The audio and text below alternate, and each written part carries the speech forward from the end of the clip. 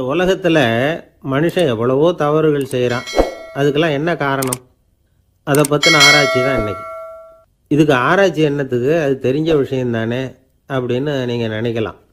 ஆனால் அப்படி அலட்சியமாக இந்த விஷயத்தை விட்டுறக்கூடாது. பொதுவாக எல்லோரும் நினைக்கலாம். எது சரி எது தவறு அப்படின்னு தெரியாததுனால தான் மனுஷன் தப்பு பண்ணுறான் அப்படின்னு. ஆனால் அப்படி சொல்லிட முடியாது. மனுஷன் வந்து தெரிஞ்சே தான் தவறுகள் பண்ணுறான் இப்போ உதாரணத்துக்கு ஒரு சாலையில் இடது பக்கம் போக வேண்டிய ஒருத்தர் நடுக்கோட்டை தாண்டி வலது பக்கமாக வண்டியை ஓட்டிகிட்டு போகிறாருன்னு வச்சுங்க என்னப்பா இது தப்பு இல்லையா? அப்படின்னு அவர்கிட்ட கேட்டால் அதெல்லாம் எனக்கு தெரியும். நீ உன் வேலையை பார்த்துட்டு போ அப்படிம்பார். வலது பக்கமாக போகிறது தப்புன்னு தெரிஞ்சே தான் அவர் அப்படி செய்கிறார் அப்படி போகிறார் பெரிய உத்தியோகத்தில் இருக்கிறவங்க கூட லஞ்சம் வாங்குறாங்க. அவங்களுக்கெல்லாம் லஞ்சம் வாங்குறது தப்புன்னு தெரியலன்னு அர்த்தம். திருடுறது தப்புன்னு தெரியாமலாம் மனுஷன் திருடுறான். நல்லாவே தெரியும். நீங்கள் வேணும்னா கேட்டு பாருங்கள் வேறு வழி இல்லை. அதனால தான் திருடுறேன்பா. திருடுறது ஒரு புண்ணியமான காரியம்னு திருடனே கூட சொல்ல மாட்டான். திருடுறது தவறுங்கிறது திருடனுக்கு தெரியும். அப்படிங்கிறத விளக்கிறதுக்காக ஒரு பெரியவர் ஒரு கதை சொன்னார். அதாவது ரெண்டு திருடர்கள். ரெண்டு பேரும் சேர்ந்து ஒரு வீட்டுக்கு போய் ஒரு பத்தாயிரம் ரூபாயை திருடிட்டு வந்துடுறாங்க. ஒரு காட்டு வழியாக வந்துக்கிட்டு இருக்கிறாங்க. இன்னும் விடியல. ரெண்டு பேருக்கும் தூக்கம் கண்ணை சுற்றுது சரி இப்படியே ஒரு மரத்தடியில் படுத்து தூங்குவோம். காலையில் விடிஞ்சதும் இந்த பணத்தை ரெண்டு பேரும் பங்கு போட்டுக்குவோம் அப்படின்னு முடிவு பண்ணுறாங்க அதே மாதிரி படுத்து தூங்குறாங்க. நடு ராத்திரியில் ஒரு திருடம் முழிச்சுக்கிறான். விடிகிற வரைக்கும் காத்துக்கிட்டு இருந்தால் ஐயாயிரம் ரூபா தான் கிடைக்கும். இப்போவே கம்பி நீட்டினா பத்தாயிரம் ரூபா கிடைக்கும் அப்படின்னு யோசித்து பார்த்துட்டு ஒரு முடிவுக்கு வந்தான். மெதுவாக அந்த பத்தாயிரத்தையும் சுருட்டிக்கிட்டு அடுத்தவனுக்கு தெரியாமல் ஓடி போயிட்டான். விடியுது. அடுத்தவன் எழுந்திரிச்சு பார்க்குறான். பணத்தையும் காணலை பாகஸ்தனையும் காணலை. இந்த திருடன் அந்த திருடனை திட்டுறான். திருட்டு பய அயோக்கிய பய இப்படி அநியாயமாக கிளப்பிட்டு போட்டானே அப்படிங்கிறான். இதுலேருந்து என்ன தெரியுது? தெரியாமல் எடுத்துக்கிட்டு போகிறது திருட்டு அயோக்கியத்தனம் அநியாயம் அப்படிங்கிறது இவனுக்கு தெரிஞ்சிருக்குது. அதனால தான் அடுத்தவனை பார்த்து இப்படி திட்டுறான். அதனால் தெரியாததுனால மனுஷன் தவறு பண்ணுறான்னு சொல்கிறது சரியில்லை. அப்படின்னா மனுஷன் பண்ணுற தவறுகளுக்கு உண்மையான காரணம் தான் என்ன? இதே சந்தேகம் அர்ஜுனனுக்கும் வந்துதான். அதனால தான் அவன் வந்து பகவானை பார்த்து கேட்குறான் மனுஷன் வந்து தன் விருப்பத்துக்கு விரோதமாக ஏதோ ஒரு சக்தியினால பலாத்காரமாக இழுக்கப்பட்டது மாதிரி பாவம் பண்ணுறானே அந்த சக்தி என்ன? அப்படின்னு கேட்குறான் இதுக்கு பகவான் பதில் சொல்கிறார் காமமும் குரோதமும் தான் அந்த சக்திகள். அதாவது ஆசையும் சினமும். இது ரெண்டும் உன்னுடைய எதிரிகள் அப்படிங்கிறத புரிஞ்சுக்கோ அப்படிங்கிறார். இன்னமும் நுணுக்கமாக பார்த்தா காமத்தினுடைய மறு உருவங்கள் தான் குரோதமும் லோபமும். ஆசை நிறைவேறலைன்னா குரோதம் அதாவது கோபம். ஆசை நிறைவேறிட்டதுன்னா லோபம் அதாவது பேராசை. பாவத்தை கண்ட்ரோல் பண்ணணும்னா அதுக்கு மெயின் சுவிட்ச் எது அப்படிங்கிறது இப்போ தான் தெரியுது. அதுக்கு மனுஷன் தெரிஞ்சே தான் தவறு பண்ணுறான் அப்படின்னு பேசிக்கிட்டோமே அதுக்கு ஒரு உதாரணம். ஒரு ஆள் ஹோட்டலில் சாப்பிட போனான். சாப்பிட்டு முடித்தான் எழுந்திரிச்சு வந்து முதலாளிகிட்ட பில்லை கொடுத்தான். காசை கொடுக்கல. முதலாளி பணம் கொடுன்னு கேட்டார். இவன் என்கிட்ட பணம் இல்லைன்னா. முதலாளி கொஞ்சம் கூட அலட்டிக்கல. உள்ளே இருந்து ஒரு ஆளை கூப்பிட்டார். இவனை கூப்பிட்டுட்டு போய் இட்லி மாவாட்ட சொல்லுன்னார். இவனும் கவலைப்படாமல் உள்ளே போயிட்டான். அப்போது அழைச்சிட்டு போகிற ஆள் கேட்குறான் ஏன் சார் சாப்பிட்றதுக்கு முன்னாடி காசு இல்லைங்கிறது உங்களுக்கு தெரியாதா? அப்படின்னு கேட்குறான் தெரியும். காசு இல்லைங்கிறதும் தெரியும். காசு இல்லாமல் சாப்பிட்டா மாவாட்டணுங்கிறதும் தெரியும். அப்படின்னா அந்த ஆள். அப்படின்னா நீங்கள் உங்கள் வீட்லேயே சாப்பிட்ருக்கலாமே அப்படின்னு கேட்குறான் அவன். அதுக்கு இவர் சொல்கிறாரு அது எப்படி? அங்கே சாப்பிட்டாலும் நான் இதே வேலையை தானே செய்ய வேண்டியிருக்கும் அப்படின்னாராம். ஒரு பெரிய அரசன் இந்த உலகம் பூராவையும் ஆண்டுக்கிட்டு இருந்தான். ரொம்ப காலம் அப்படி அரசாட்சி பண்ணிக்கிட்டு இருந்தான். திடீர்னு அவனுக்கும் சில எதிரிகள் முளைச்சாங்க. அவங்கெல்லாம் ஒன்று சேர்ந்து இவனை தோற்கடிச்சுட்டாங்க. தோற்று போனது இவனுக்கு பயம் வந்துட்டுது. எங்கே எதிரிகள் நம்ம கொண்டுடுவாங்களோ அப்படின்னு வெளியில் வந்தால் தனக்கு ஆபத்துன்னு பயந்துக்கிட்டு யாருக்கும் தெரியாமல் ஒரு குகைக்குள்ளே போய் பதுங்கி கிடக்கிறான். நிலைமையை பாருங்கள் முதல் நாள் வந்து அரண்மனையில் அதிகாரம் பண்ணிக்கிட்டு இருந்தவன் மறுநாள் வந்து குகையில் பயந்து போய் பதுங்கி கிடக்கிறான். ராத்திரி நேரம் வந்தது.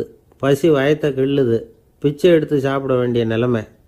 பிச்சை எடுக்கிறதுக்கு பாத்திரம் வேணுமே என்ன பண்ணுறது அப்படின்னு அங்கேயும் இங்கேயும் பார்க்குறான் ஒரு மூலையில் யாரோ விட்டுட்டு போன ஒரு ஓடு கிடக்குது. அதை எடுத்துக்கிட்டு புறப்பட்டான். இருட்டில் வழி புரியல. ஏதோ ஒரு யூகத்தில் காலை மெதுவாக எடுத்து வச்சு நடந்து போய்கிட்டு இருக்கிறான். வழியில் ஒரு கருப்பு நாய் படுத்து கிடந்தது. இருட்டில் அவன் இது கண்ணுக்கு சரியாக தெரியல அவனுக்கு. தவறி போய் காலை வச்சுட்டான். அது மேலே. நாய் சும்மா இருக்குமா? வள்ளுன்னு விழுந்து கடிச்சு விட்டுது. காலை பார்க்குறான் காலத்தையும் நினச்சி பார்க்குறான் அரண்மனையில் வந்து வீரக்கழல் அணிந்த காலை உடைய மன்னா அப்படின்னு புகழ்வாங்களே புலவர்கள்லாம். ஆனால் அது இன்னைக்கு நாய் கடித்த காலம் அப்படின்னு நினைக்கிறான். அது மட்டும் இல்லை முன்னாடி எல்லாம் பொற்கிண்ணங்களில் தான் அவன் சாப்பிடுவான். ஆனால் இப்போது உடஞ்சி போன ஓட்டு அது ஓட்டை வந்து கையில் வச்சுக்கிட்டு நிற்கிறான் அதில் ஏதாவது யாராவது சாப்பாடு போடுவாங்களான்னு. முன்னாடியெல்லாம் நிறைய பேர் அரண்மனைக்கு வருவாங்க. அரசருக்கு காணிக்கைன்னு சொல்லி இவன் காலடியில் கொண்டாந்து கொட்டுவாங்க. அப்போல்லாம் இவன் அந்த ஜனங்களுடைய முகத்தை திரும்பி கூட பார்க்குறதில்ல ரொம்ப கர்வமாக உட்காந்துருப்பான் அதே ஆள் இன்றைக்கி எல்லார் கண்ணுலேயும் படுறது மாதிரி பிச்சை எடுத்துக்கிட்டு இருக்கிறான். அப்போலாம் காணிக்கைகளை வந்து தன்னுடைய கையால் வாங்குறது தனக்கு கௌரவ குறைச்சல்னு நினச்சி தன்னுடைய வேலைக்காரங்களை விட்டு தான் அதை வாங்க சொல்லுவான். இப்போ பார்த்தீங்கன்னா அவனே தன் கையாலேயே பிச்சை வாங்குறான். நினச்சி பாருங்க. அந்த மனுஷன் முத நாள் அரசன் மறுநாள் பிச்சைக்காரன். எவ்வளோ வித்தியாசம். செல்வம் தான் இப்படி ஒரு வித்தியாசம் ஏற்படுறதுக்கு காரணம். அப்படிப்பட்ட செல்வம் வாழ்க்கையை நடத்துறதுக்கு நமக்கு தேவை தான் ஆனால் அதையே நாம் அடைய வேண்டிய பயனாக நினைக்கிறோம் பாருங்கள் அதுதான் வேடிக்கை. இதை வந்து நம்மாழ்வார் அழகாக ஒரு பாசுரத்தில் சொல்கிறார் ஒரு நாயகமாய் ஓட உலகுடன் ஆண்டவர் கருணாய் கவர்ந்த காலர் சிதைகிய பாணையர் பெருநாடு காண இம்மையிலே பிச்சைதாம் கொள்வர் திருநாரணன் தாழ் காலம் பெற சிந்தித்து உய்மினோ அப்படிங்கிறார் நம்மாழ்வார். ஒரு பெரிய பணக்காரர் ஒரு துறவிகிட்ட போய் சாமி என்கிட்ட நிறைய பணம் இருக்குது இருந்தாலும் நிம்மதி இல்லை. என்னால் நிம்மதியாக இருக்க முடியல. என்ன காரணம்னு கேட்டாரான் உடனே அந்த துறவி இதுக்கு நேரடியாக பதில் சொல்லாமல் பக்கத்தில் நின்றுக்கிட்டு இருந்த ஒரு குழந்தைய கூப்பிட்டார் அது ஓடியாந்தது. ஒரு ஆப்பிள் பழத்தை எடுத்து அது கையில் கொடுத்தார். அதை வாங்கிக்கிட்டு குழந்தை சிரிச்சுது. இன்னொரு பழத்தை எடுத்து கொடுத்தார். அதை இன்னொரு கையில் வாங்கிட்டு சிரிச்சுது. மூணாவது ஆப்பிள் எடுத்து கொடுத்தார். ரெண்டு பழத்தையும் நெஞ்சில் அணைச்சிக்கிட்டு மூணாவது பழத்தையும் வாங்குறதுக்கு முயற்சி பண்ணிச்சு. ஆனால் அது உடனே நழுவி கீழே விழுந்து உருண்டு ஓடிச்சு. ஏற்கனவே இருந்ததும் விழுந்துட்டுது இப்போ அந்த குழந்தை அழ ஆரம்பிச்சுட்டுது. இப்போ அந்த துறவி பணக்காரர்கிட்ட சொன்னாராம் குழந்தைய கவனிச்சியா? ரெண்டு ஆப்பிள் போதும்னு அது நினச்சிருந்தா இப்போ அது அழ வேண்டிய அவசியம் வந்திருக்குமா? அப்படின்னாராம். எதுவுமே அளவுக்கு மிஞ்சினா துன்பம்தான். இந்த காலத்தில் இதெல்லாம் யார் காதில் வாங்குறாங்க? ஒருத்தனை நல்ல வழிக்கு கொண்டு வரணும்னு நினச்சி அவனை கூப்பிட்டு உட்கார வச்சு இந்த கதையை சொல்லிகிட்டு இருந்தாங்க. சொல்லிவிட்டு அந்த குழந்தை செஞ்சது தப்பு தானே அப்படின்னு கேட்டிருக்கிறாங்க. ஆமாம் தப்பு தான் நானாக இருந்தால் அப்படி செஞ்சுருக்க மாட்டேன் நானா இவன் ரெண்டு பழமே போதும்னு சொல்லியிருப்பியா அப்படின்னு கேட்டிருக்காங்க. அப்படி இல்லைங்க. அவர் கொடுக்க கொடுக்க ஒவ்வொரு பழமாக வாங்கி பின்னாடி வச்சுட்டு மறுபடியும் கையை நீட்டுவேன் அப்படிங்கிறானா. இவெல்லாம் எந்த காலத்தில் திருந்துறது? எனக்கு ஒரு உதவி செய்யணும் அப்படின்னு நம்மளை பார்த்து ஒருத்தர் கேட்குறாருன்னு வச்சுங்களேன். உடனே நாம் அவரை பார்த்து என்ன உதவின்னு கேட்போம். இதுதான் சராசரி மனிதர்களின் இயல்பு. ஆனால் ஒருத்தர் எனக்கு ஒரு உதவி செய்யணும் அப்படின்னு கேட்ட உடனே என்ன உதவின்னு கூட கேட்காம சரி செய்கிறேன் அப்படின்னு ஒத்துக்கிறது இருக்குது பாருங்க. அது கொஞ்சம் அபூர்வம். அந்த காலத்தில் ஒருத்தர் இருந்தார். அவர் எப்படி தெரியுமா? உதவி கேட்குறவங்க நல்லவங்களா கெட்டவங்களா அப்படின்னு கூட பார்க்கல. தனக்கு நன்மையா தீமையா அப்படின்னு கூட பார்க்கல. உதவி செய்கிறேன்னு புறப்பட்டு விட்டார். அவர் யார் தெரியுமா? அவர் தான் நல சக்கரவர்த்தி அவர் மாதிரி நாமும் உதவி கேட்குறவங்களுக்கு உடனே உதவி செய்கிறதுக்கு தயாராக இருக்கணும் அப்படின்னு சொன்னார் ஒரு ஆன்மீக பேச்சாளர். நல சரித்திரத்தை அவர் சொல்லிக்கிட்டு இருந்தார். இந்திரன் அக்னி வருணன் யமன் இவங்க நாலு பேரும் நலனை பார்த்து எங்களுக்கு நீ உதவி செய்யணும் எங்களுக்காக நீ தூது போகணும் அப்படின்னு கேட்குறாங்க யாருக்கிட்ட தூது போகணும் என்ன காரியத்துக்காக போகணும்? அப்படின்னு கேட்கணும்ல நலன் அப்படி கேட்கவே இல்லை. உடனே சரின்னு ஒத்துக்கிறான்.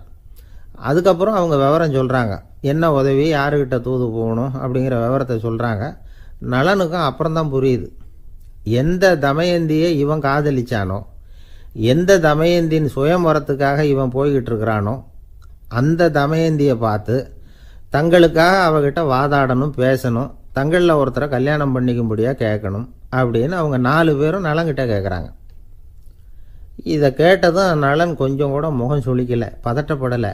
நேராக தமயந்திக்கிட்ட போகிறான் இந்திரன் அக்னி வருணன் யமன் இவங்களோட சிறப்புகளை எடுத்து சொல்கிறான் இவங்களில் ஒருத்தரை கல்யாணம் பண்ணிக்கலாம் அப்படின்னு சொல்லி கேட்டுக்கிறான். ஆனால் இதுக்கு தமயந்தி சம்மதிக்கலை. சுயம்வரம் நடக்குது. அவள் வந்து நலனை வந்து தேர்ந்தெடுக்கிறான் அந்த நாலு பேரும் நலனுக்கு வந்து நிறைய வரங்கள்லாம் கொடுக்குறாங்க அதுக்கப்புறம். இப்படி போகுது கதை. இதில் நாம் கவனிக்க வேண்டியது என்னென்னா உதவின்னு கேட்ட உடனே என்ன உதவின்னு கேட்காம சரி செய்கிறேன்னு சொன்னான் பாருங்கள் அதை கொஞ்சம் சிந்திக்கணும். செய்கிறேன்னு ஒத்துக்கிட்டதுக்கு அப்புறம் அது என்ன உதவின்னு தெரிஞ்சும் முகம் சுளிக்காமல் அதை செஞ்சான் பாருங்கள் அதையும் கொஞ்சம் சிந்திக்கணும்.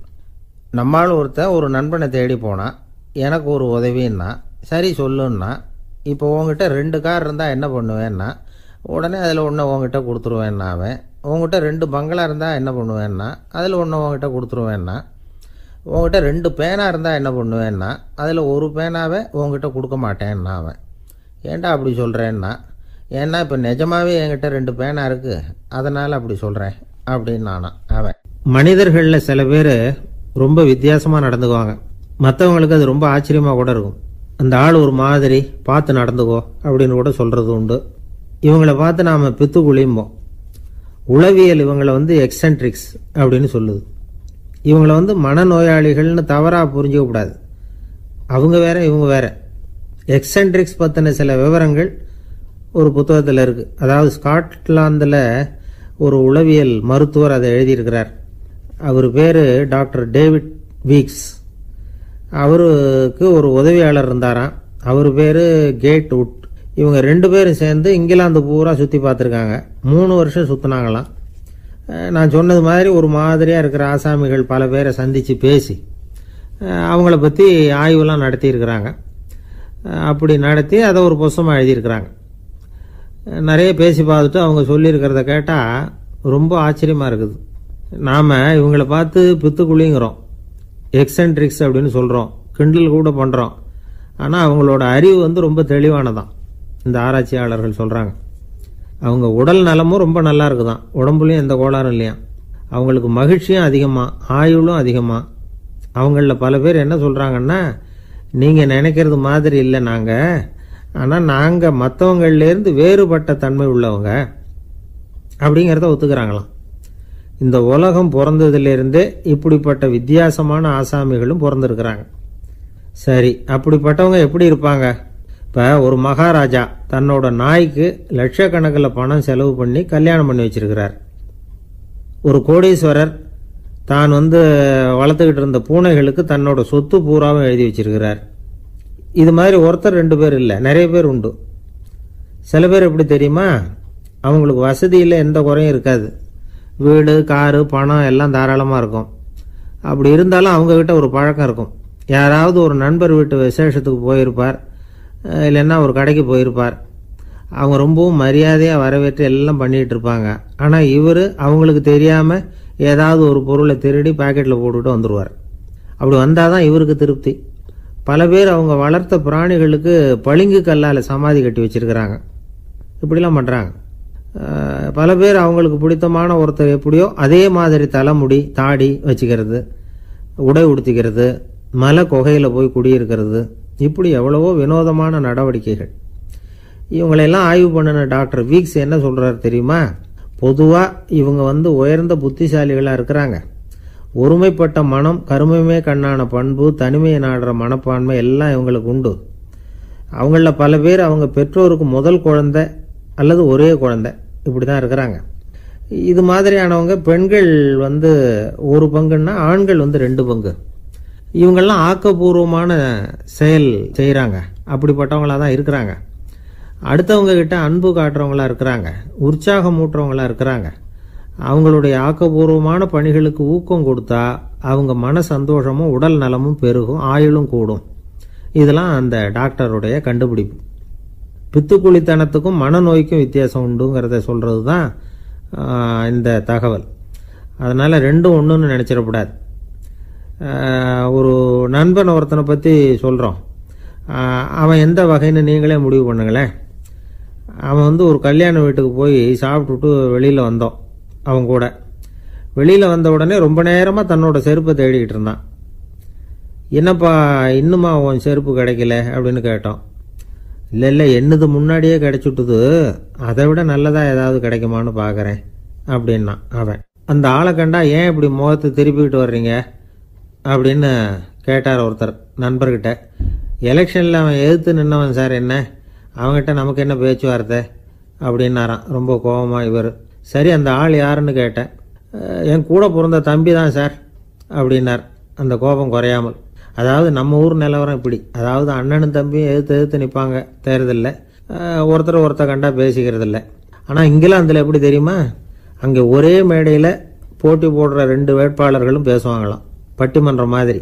ஒருத்தர் முதல்ல எழுந்திருப்பார் நான் வந்து இந்த தேர்தலில் வெற்றி பெற்றால் என்னென்ன செய்வேன்? அப்படின்னு சொல்லிவிட்டு உட்காருவார். அதுக்கப்புறம் அடுத்தவர் எழுந்திருப்பார். அவர் சொல்லுவார் நான் வெற்றி பெற்றால் இந்த மக்களுக்கு என்னென்ன செய்வேன் இந்த நாட்டுக்கு என்னென்ன செய்வேன்? அப்படிங்கிறத சொல்லிவிட்டு உட்காருவார். ரெண்டு பேரும் ஒரே மேடையில் பேசுவாங்க. மக்கள் ரெண்டு பேர் பேச்சையும் கேட்டுக்கிட்டு ஒரு முடிவுக்கு வருவாங்க. இதுதான் அங்கே உள்ள பழக்கம். இங்கே அப்படி இல்லை. இங்கே ஒருத்தர் ஒருத்தர் பார்த்தாவே முகத்தை திருப்பிக்கிறது. ஒரு தடவை இது மாதிரி ஒரு கூட்டம் நடந்துக்கிட்டு இருக்கு. அங்கே வெளிநாட்டில் தான். நேரத்துக்கு சரியாக ஒரு வேட்பாளர் வந்து சேரலை. இது இங்கிலாந்தில் நடந்த நிகழ்ச்சி. அப்புறம் என்னாச்சுன்னா ஒருத்தர் வந்துட்டார் இன்னொருத்தர் வந்து சேரல. அப்புறம் உடனே அந்த ஒருத்தர் வந்தவர் பேச ஆரம்பிச்சிட்டார். அதாவது அந்த இன்னொருத்தர் சார்பாகவே பேசிட்டாராம். அதாவது அவர் வரல. நான் அவர் சார்பாக வந்து நான் பேசிடுறேன். அதாவது அவர் ஜெயிச்சுட்டா அவர் என்னென்ன செய்வார் இந்த நாட்டுக்கு அப்படின்னு சொல்லி அவர் பக்கத்தில் உள்ள நியாயத்தை எடுத்து இவரே சொல்லிட்டாராம். இப்படிலாம் அங்கே நடக்கு நடந்துதான். இது எப்பேற்பட்ட தேர்தல் பண்பாடு பாருங்கள் அதனால் இன்னொரு விஷயம். இப்போ இங்கிலாந்துலலாம் ஓட்டு கேட்குறப்ப வெற்றியா தோல்வியாங்கிறத ஓரளவுக்கு யூகிச்சு விடலாமா? இப்போ ஒரு வேட்பாளர் ஒரு வீட்டுக்கு முன்னாடி போய் நின்று எனக்கு ஓட்டு போடுங்கன்னு கேட்குறாருன்னு வச்சுங்களேன். அதுக்கு என்ன பார்த்து செய்கிறோம் போயிட்டு வாங்க. அப்படின்னு சில வீடுகளில் வாசலில் நின்று சொல்லி அனுப்பிச்சிருவாங்களாம். வேறு சில வீடுகளில் எப்படின்னா வேட்பாளரை வீட்டுக்குள்ளே கூப்பிட்டு காபி சாப்பிட சொல்லி உபசரித்து அதுக்கப்புறம் அனுப்பி வைக்கிறது வழக்கமாக இதில் எந்த வீட்டு ஓட்டு நிச்சயம் தெரியுமா? வாசலில் நின்று வழி அனுப்பி வச்சுட்றாங்க பாருங்கள் அவங்க ஓட்டு நிச்சயம். உள்ளே கூப்பிட்டு காப்பி கொடுத்து அனுப்புகிறாங்க பாருங்கள் அவங்க ஓட்டு நிச்சயம் இல்லையா?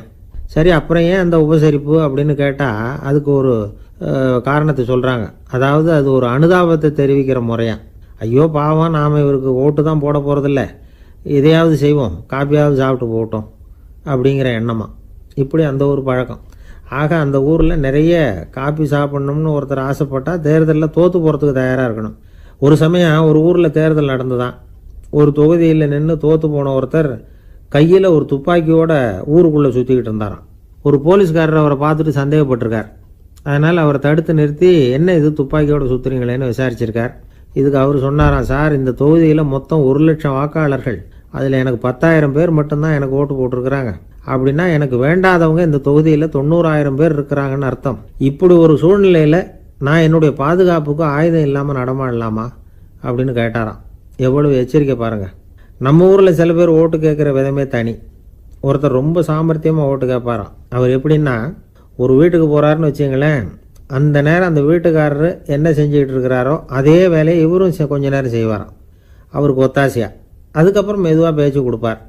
ஓட்டு கேட்பார் இது மாதிரி எலெக்ஷனில் நிற்கிறேன் கவனிக்கணும்னு.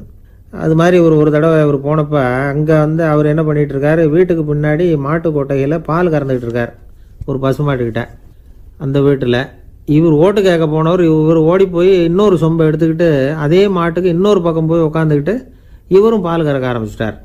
எதிராக உட்காந்துட்டு இருக்கார் அவர் இவர் இந்த பக்கம் உட்காந்துருக்கார் கீழே கொஞ்சம் குனிஞ்சு பார்த்தா ஒருத்தர் முகத்தை ஒருத்தர் பார்க்கலாம். கொஞ்ச நேரம் ஆனதுக்கப்புறம் இவர் மெதுவாக அவர்கிட்ட பேச்சு கொடுத்தாராம். இது மாதிரி நான் எலெக்ஷனில் நிற்கிறேன் நீங்கள் ஓட்டு போடணும்.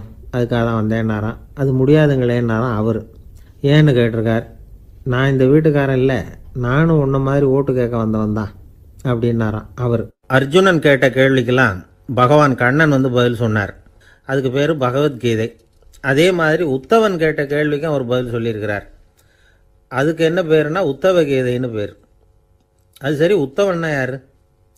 கண்ணனுக்கு சின்ன வயசுலேருந்தே தேர் ஓட்டிக்கிட்டு இருந்தவன் அவன் தான் குருக்ஷேத்திர போர் முடிஞ்சது. அதர்மத்தை அழித்து தர்மத்தை நிலைநாட்டி தர்மனுக்கு முடிச்சு விட்டினார் கண்ணபிரான். அதுக்கப்புறம் துவாரகைக்கு திரும்பினார். தான் வந்த காரியம் முடிஞ்சது. அதனால் இளமையிலிருந்தே தனக்கு தேரோட்டியா இருந்து வந்த உத்தவனை கூப்பிட்டார். இந்த பாருப்பா உனக்கு வேணுங்கிறத கேளுன்னார். அவன் தனக்குன்னு எதையும் கேட்கறதுக்கு ஆசைப்படலை. இருந்தாலும் கேள்வி கேட்குறதுல அவன் ரொம்ப கெட்டிக்காரன். அதனால் கேட்க ஆரம்பித்தான் பறந்தாமா ராஜசூய யாகத்துக்கு தர்மனை கூப்பிட்டு தன்னுடைய அரண்மனையில் விருந்து வச்சான் துரியோதனன். அதுக்கப்புறம் சூதாட்டத்துக்கு கூப்பிட்டான். தர்மன் வந்து தோல்வி அடைகிற மாதிரி பண்ணிவிட்டான். நீங்கள் தான் முக்காலமும் உணர்ந்தவராச்சே. சூதாட்டத்தில் தர்மர் ஜெயிக்கிறது மாதிரி பண்ணியிருக்க கூடாதா? இந்த பகடக்காயை உருட்டுறப்போ நீங்கள் எதிர்பார்த்தது விழற மாதிரி பண்ணியிருக்கலாமே.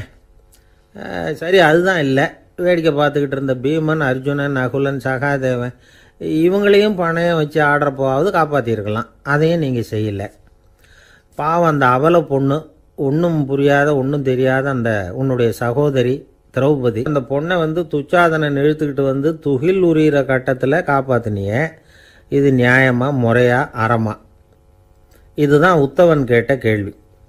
இதுக்கு பரந்தாமன் பதில் சொல்கிறார் அப்படி கேள் உத்தவா தருமனை வந்து துரியோதனன் வந்து சூதாட அழைக்கும் பொழுது என்ன சொன்னான் தெரியுமா? நான் பணையம் வைக்கிறேன். எனக்கு பதிலாக என்னுடைய மாமன் சகுனி பகடக்காய்களை உருட்டுவான்னு சொன்னான். உடனே தருமன் எனக்கு பதிலாக என்னுடைய மைத்துனன் கண்ணன் வந்து பகடக்காய்களை உருட்டுவான்னு சொல்லியிருக்கலாமே. அப்படி சொல்லலை. என்ன செஞ்சான் தெரியுமா? துரியோதனன் கூட சூதாட்டத்துக்கு சம்மதிச்சிட்டோம். கடவுளே இது என்னுடைய மைத்துனன் கண்ணபிரானுக்கு தெரியக்கூடாது அப்படின்னு வேண்டிக்கிட்டான். இதனால் தருமன் வந்து எனக்கு வந்து மனசால் தடை போட்டுட்டான். அதனால் அரண்மனைக்கு வெளியிலேயே என்னை கூப்பிடுவாங்கன்னு நான் காத்துக்கிட்டு இருந்தேன். பீமன் அர்ஜுனன் நகுலன் சகாதேவன் திரௌபதி இவங்களை பணையம் வச்சு ஆடுறப்போவாவது கூப்பிடுவாங்கன்னு பார்த்தேன். அப்பவும் அவங்க என்னை கூப்பிடல நினைக்கல. திரௌபதியை வந்து துச்சாதனன் கூந்தலை பிடிச்சி இழுக்கிறான். அப்போ கூட அவள் தன்னுடைய உடல் பலத்தால் தடுக்கிறதுக்கு முயற்சி பண்ணாலே தவிர என்ன நினைக்கல. துரியோதனன் சபைக்கு இழுத்து செல்லப்பட்ட திரௌபதி. அறநூல்களையும் அரச நீதிகளையும் சொல்லிக்கிட்டு இருந்தாலே தவிர என்ன நினச்சே பார்க்கல. துகில் உரியிற கட்டத்தில் தான் ஹரி ஹரி கண்ணா பறந்தாமன்னு கூப்பிட்டா அதனால தான் அப்போ போய் நான் காப்பாற்றினேன் அப்படின்னா பறந்தாமன் அப்படின்னா நீ அழைச்சாதான் போவியா? நீயா போக மாட்டியா அப்படின்னு கேட்குறான் உத்தவன். ஆமாம் நான் கூப்பிட்டா தான் போவேன். மனிதர்கள் செய்யக்கூடிய செயல்களையெல்லாம் அவங்கவுங்க போக்கிலேயே விட்டுட்டு வேடிக்கை பார்த்துக்கிட்டு இருப்பேன். நான் குறுக்கிட்டு வந்து ஒன்றுமே செய்ய மாட்டேன் அப்படின்னா பரந்தாமன். மனுஷன் தவறு பண்ணுனா திருத்த மாட்டியா? சும்மா பார்த்துக்கிட்டு தான் உட்காந்துருப்பியா அப்படின்னு கேட்குறான் உத்தவன். நான் மனுஷனுடைய உள்ளத்தில் இருக்கிறப்போ என் எதிரில் மனுஷன் தவறு பண்ண மாட்டான் அப்படின்னு ஆனால் கண்ணன். அதாவது யார் நினைக்கிறாங்களோ அவங்க உள்ளத்துல எல்லாம் அவன் இருக்கிறான். அப்படி இருக்கிறப்போ தவறு செய்ய மனுஷன் அஞ்சுவான். இதுதான் உத்தவ கீதைங்கிறது. இந்த காலத்துலேயும் சில பேர் பகவான் மாதிரி அடுத்தவங்க கஷ்டப்படுறத வேடிக்கை பார்த்துக்கிட்டு இருக்கிறது உண்டு. அன்னைக்கு அப்படித்தான். நடுத்தெருவில் ஒரு திருடனை பிடிச்சி எல்லாரும் சேர்ந்து அடிச்சுக்கிட்டு இருக்கிறாங்க. ஒரு ஆள் மட்டும் தள்ளி நின்று அதை வேடிக்கை பார்த்துக்கிட்டு இருக்கான். பார்த்துக்கிட்டு சிரிச்சுக்கிட்டு இருக்கிறான். என்ன சார் இது? பாவம் அந்த ஆளை போட்டு அப்படி அடிக்கிறாங்களே அப்படின்னும். அடிக்கட்டும் சார் அவன் அடி வாங்க வேண்டிய ஆள் தான் அப்படின்னா அவன். ஏன் சார் அப்படி சொல்கிறீங்க அப்படின்னு கேட்டோம். பின்ன என்ன சார்? நான் ஒருத்தர் பையில் இருந்த பர்ஸை எடுக்கிறதுக்கு முயற்சி பண்ணிக்கிட்டு இருந்தேன். அதுக்குள்ளே அவன் முந்திக்கிட்டு அப்வேஸ் பண்ணிவிட்டான். பர்ஸை அவன் எடுத்துட்டான். பார்க்கறதுன்னா எடுக்கிறது அவனா? என்ன சார் நியாயம் இது? நல்லா வாங்கட்டும் அப்படிங்கிறான். திருநெல்வேலி மாவட்டத்தில் கோவில்பட்டிக்கு பக்கத்தில் உள்ள ஊர் கடம்பூர். காமராசர் முதலமைச்சராக இருந்த காலம். கடம்பூரில் ஒரு பள்ளி சீரமைப்பு மாநாடு நடக்குது. அந்த பக்கத்தில் உள்ள பள்ளிக்கூடம்லாம் அதில் கலந்துக்குது. கண்காட்சி வேற. ஊர் பூரா விழா கோலம். மறுநாள் மாநாடு நடக்க போகுது ஆனால் முதல் நாளே மழை பிடிச்சிக்கிட்டுது. மறுநாளும் அது விடலை. விடாமல் பேஞ்சிக்கிட்டு இருக்குது. காமராசர் காலையிலேருந்து பல்வேறு நிகழ்ச்சிகளில் கலந்துக்கிட்டு சாயந்தரமாக கடம்பூருக்கு வந்து சேர வேண்டியவர். மழை பேஞ்சிக்கிட்டு இருக்கிறதுனால நிகழ்ச்சி ரத்தாயிடுமோ என்னமோ அப்படின்னு எல்லாரும் சந்தேகப்பட்டுக்கிட்டு இருக்கிறாங்க. அவர் கோவில்பட்டி பயணிகள் விடுதியில் இருக்கிறார். கடம்பூர்லேருந்து சில பேர் போய் அவரை சந்திக்கிறாங்க. மழை பெஞ்சிக்கிட்டு இருக்குதே என்ன செய்யலாம் அப்படின்னு கேட்குறாங்க மழை பெஞ்சால் நல்லது தானே? அதுக்காக மாநாட்டை எதுக்காக ரத்து செய்யணும்? ஆசிரியர்கள் எவ்வளவு கஷ்டப்பட்டு ஏற்பாடு பண்ண மாநாடு? கட்டாயம் வந்துடுறேன் அப்படின்னாராம் காமராசர். உடனே புறப்பட்டார். மழையை பொருட்படுத்தாத மக்கள் கூட்டம். அது கலையாமல் காத்துக்கிட்டு இருக்கிறாங்க அவ்வளோ பேரும். தலைவர் வந்துட்டார்னு தெரிஞ்சது ஜனங்களுக்கு ஏகப்பட்ட உற்சாகம். ஜனங்கள் அவ்வளவு உற்சாகமாக வரவேற்றாங்க. மாநாடு ஆரம்பமாச்சு. மலர் மாலைகள் மலை மாதிரி குவிய ஆரம்பிச்சுட்டுது. வரிசையாக ஒவ்வொரு கல்வி நிலையம் சார்பாகவும் வரவேற்பு பத்திரம் வாசித்து கொடுக்குறாங்க. என்ன வாசிக்கிறாங்கங்கிறத காமராசர் கூர்ந்து கவனிக்கிறார்.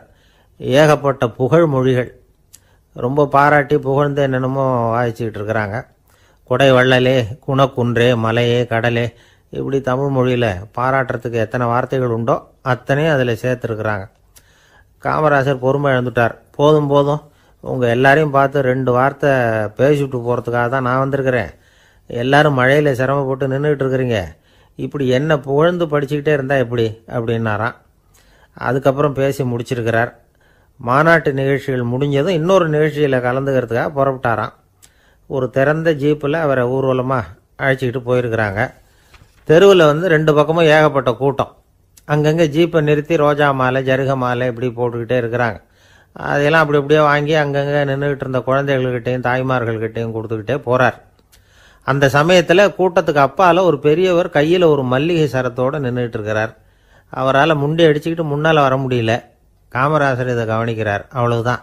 உடனே நிறுத்தப்பா வண்டிய அப்படிங்கிறார். ஜீப்பு நிற்கிது டிரைவரை பார்த்து அதோ பார் அங்கே ஒருத்தர் நிற்கிறார் பார் அவரை இங்கே அழைச்சிட்டு வா அப்படின்னாராம். கூட்டம் வழி விடுது அந்த பெரியவரை கிட்டத்தில் அழைச்சிட்டு வர்றாங்க.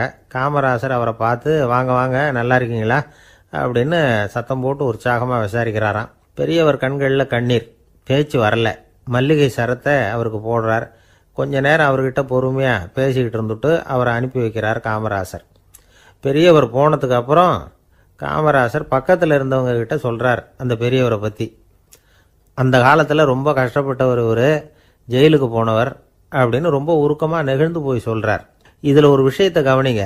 தன்னை புகழ்ந்து படிக்கப்பட்ட வாழ்த்து மடலை படிக்க வேணாம்னு தடுத்து நிறுத்தினார்.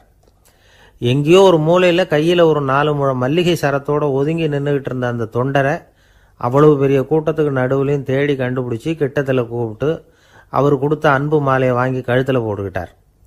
அதுதான் காமராசர். தோல்விகள் கூட அவரை வந்து கொஞ்சம் கூட பாதித்ததில்லை ஒரு பொது தேர்தலில் அவர் தோற்று போகிறார் தொண்டர்கள்லாம் அழகிறாங்க அதில் ஒருத்தர் மெதுவாக காமராசர்கிட்ட போய் என்ன தலைவரே நீங்கள் கூட தோற்று போயிட்டீங்களே அப்படின்னு கலக்கமாக சொல்லியிருக்கிறார்.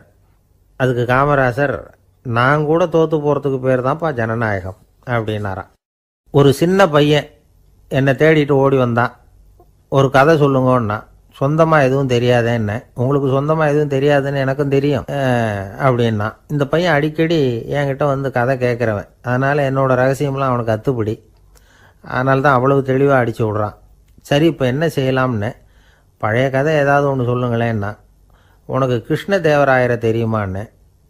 அவர்கிட்ட நேரில் பழக்கம் இல்லை ஆனால் அவரை பற்றி புஸ்தகத்தில் படிச்சிருக்கேன்னா.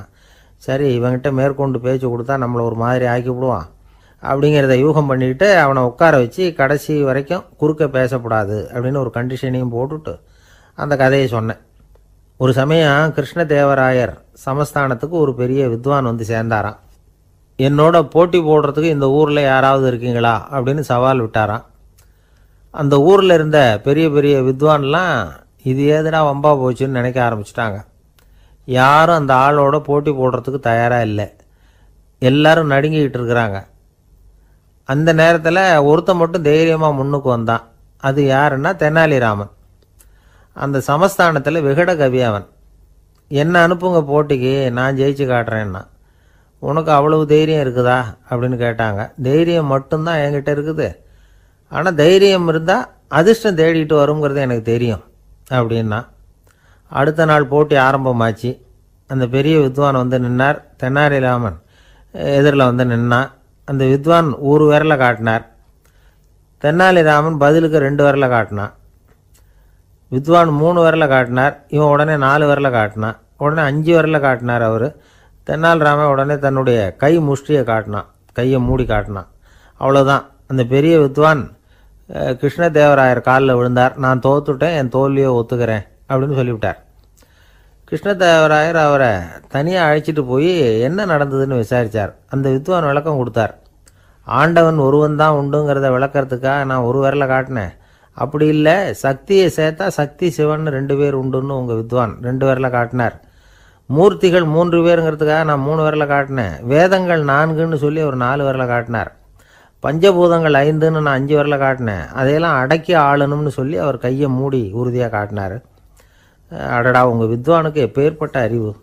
அவர் தான் ஜெயிச்சார். நான் தோத்துட்டேன் அப்படின்னார் அவர். அப்படி சொல்லிவிட்டு அவர் போயிட்டார். அதுக்கப்புறம் தெனாலிராமனை கூப்பிட்டு என்னப்பா நடந்தது அப்படின்னு கேட்டாராம். அதுக்கு தெனாலிராமன் விளக்கம் கொடுத்துருக்குறான். அவன் முதல்ல என்னை கொன்னுடுவேன்னு அந்த வித்வான் ஒரு விரலை காட்டினான். உடனே ஒரு ரெண்டு கண்ணையும் தோண்டி போடுவேங்கிறதுக்காக நான் ரெண்டு விரலை காட்டினேன். உனக்கு நாமம் போட்டுருவேன்னு சொல்லி மூணு விரலை காட்டினான் அதை அழிச்சிருவேன்னு நாலு விரலை காட்டினேன். உன்னை அரைஞ்சிருவேன்னு அவன் அஞ்சு விரல காட்டினான் நான் உங்களை குத்தி போடுவேன்னு சொல்லி கையை மூடி காட்டினேன் அப்படின்னா. இப்போ பாருங்கள் ஜெயிச்சது யார்? தைரியம் மட்டும் இருந்துட்டா அதிர்ஷ்டம் தானாக தேடி வருங்கிறது எவ்வளவு உண்மையாக போச்சு. அதனால் நாம் எப்பவும் தைரியமாக இருக்கணும்னு சொல்லிவிட்டு என் எதிரில் கதை கேட்டுட்டு உட்காந்துருந்த சின்ன பையனை பார்த்தேன். அவன் என்னை நிமிர்ந்து பார்த்தான். அவன் தன்னோட கை கால் ரெண்டையும் ஒரு மாதிரியாக என் முன்னால் தூக்கி இருபது விரலை காட்டினான். எனக்கு ஒன்றும் புரியல. இதுக்கு என்னப்பா அர்த்தம்னு கேட்டேன். இதே கதையை இதுக்கு முன்னாடி என்கிட்ட இருபது தடவை நீங்கள் சொல்லியிருக்கீங்கன்னு அர்த்தம் அப்படின்னா. ஒரு நீதிமன்றம் அங்கே ஒரு கொலை வழக்கு சம்பந்தமாக விசாரணை நடந்துக்கிட்டு இருக்குது. அந்த வழக்கறிஞர் ரொம்ப தீவிரமாக வாதாடிக்கிட்டு இருக்கிறார். தன்னுடைய கட்சிக்காரர் நிரபராதிங்கிறது அவருக்கு நல்லா தெரியும். அதனால தான் அவர் சார்பாக வாதாடுறதுக்கே ஒத்துக்கிட்டார். அப்படி அவர் மும்முரமாக வாதாடிக்கிட்டு இருக்கிற சமயத்தில் அவசரமாக தந்தி ஒன்று வந்து சேர்ந்தது. அதை வாங்கி படித்து பார்த்தார். அதுக்கப்புறம் அதை மடித்து தன்னுடைய கோட்டு பையில் வச்சுக்கிட்டு தொடர்ந்து வாதாட ஆரம்பிச்சிட்டார். பேசி முடித்தார் அதுக்கப்புறம் அங்கே கோர்ட்டில் இருந்த சக வக்கீல்கள் அவர்கிட்ட வந்தாங்க. தந்தி ஒன்று வந்ததே என்ன விஷயம் அப்படின்னு விசாரித்தாங்களாம் அப்போ அவர் சொல்லியிருக்கிறார் ஊரில் சிகிச்சைக்காக போயிருந்த என்னுடைய மனைவி இறந்து போனதாக தந்தி வந்திருக்குது அப்படின்னாராம். மற்ற வக்கீல்களுக்கு அதிர்ச்சி. என்னங்க இது? மனைவி இறந்ததை விட கேஸு முக்கியமாக உங்களுக்கு? அப்படின்னு கேட்டிருக்கிறாங்க. இறந்து போன என் மனைவி மறுபடியும் திரும்பி வர போகிறதில்ல ஆனால் என்னுடைய கட்சிக்காரர் ஒரு கொலை வழக்கில் மாட்டிக்கிட்டார். அவரும் நிரபராதி. அவர் உசுரை நான் காப்பாற்ற வேணாமா? இதுதான் என்னுடைய கடமை அப்படின்னாராம். இப்படி இவர் சொன்னதும் எல்லாரும் அப்படியே திகைச்சு போய் நின்றுட்டாங்களாம் சரி கடமைக்கு முக்கியத்துவம் கொடுத்த அந்த வழக்கறிஞர் யார் தெரியுமா? அவர் தான் இரும்பு மனிதர் சர்தார் வல்லபாய் பட்டேல். குஜராத் மாநிலத்தில் ஆயிரத்தி எண்ணூற்றி எழுபத்தஞ்சி அக்டோபர் முப்பத்தி ஒன்று அன்றைக்கு ஜாவேரி பாய் அப்படிங்கிறவருக்கு நாலாவது பிள்ளையா அவர் பிறந்தாராம். இந்த ஜாவேரி பாய் யார் தெரியுமா? ஜான்சி ராணி லட்சுமி பாய் போர் படையில் ஒரு வீரராக பணிபுரிஞ்சவர். இளம் வயசில் வல்லபாய் படேல் வந்து ரொம்ப சிரமப்பட்டு படிச்சிருக்கார். விடாமுயற்சி வெற்றியை கொடுத்தது. கல்லூரியிலையும் காலடி வச்சார். அதுக்கப்புறம் வக்கீல் பட்டத்தையும் வாங்கினார். பிரிட்டிஷ் ஆட்சி நடந்துக்கிட்டு இருந்த சமயம் குஜராத்தை சேர்ந்த பர்டோலி தாலுக்காவில் விவசாயிகள் மேலே அரசாங்கம் திடீர்னு நில வரியை வசதி விட்டு தான் ஏழை விவசாயிகள் ரொம்ப கஷ்டப்பட்டிருக்காங்க. அரசாங்கம் வரி செலுத்தாத விவசாயிகளின் நிலங்களையெல்லாம் ஜப்தி ஜப்தி செஞ்சுதான். அரசாங்கத்தை எதிர்க்கிறவங்களையெல்லாம் கைது பண்ணி சிறையில் அடைச்சிட்டாங்களாம். சில பேர் வீடு வாசல் ஆடு மாட்டையெல்லாம் விற்று கூட வரி கட்ட வேண்டிய நிலைமைக்கு ஆளாயிட்டாங்க. வழக்கறிஞர் வல்லபாய் படேல் வந்து நில வரியை உடனே ரத்து பண்ணணும் அப்படின்னு பம்பாய் கவர்னருக்கு ஒரு கடிதம் எழுதினார். எந்த பலனும் இல்லை. உடனே எல்லா விவசாயிகளையும் அணி திரட்டினார்.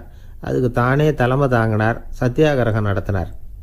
அந்த பகுதியில் எந்த வேலையும் நடக்கலை. வேறு வழி இல்லை. ஆட்சியாளர்கள் உடனே வரியை ரத்து பண்ணாங்க.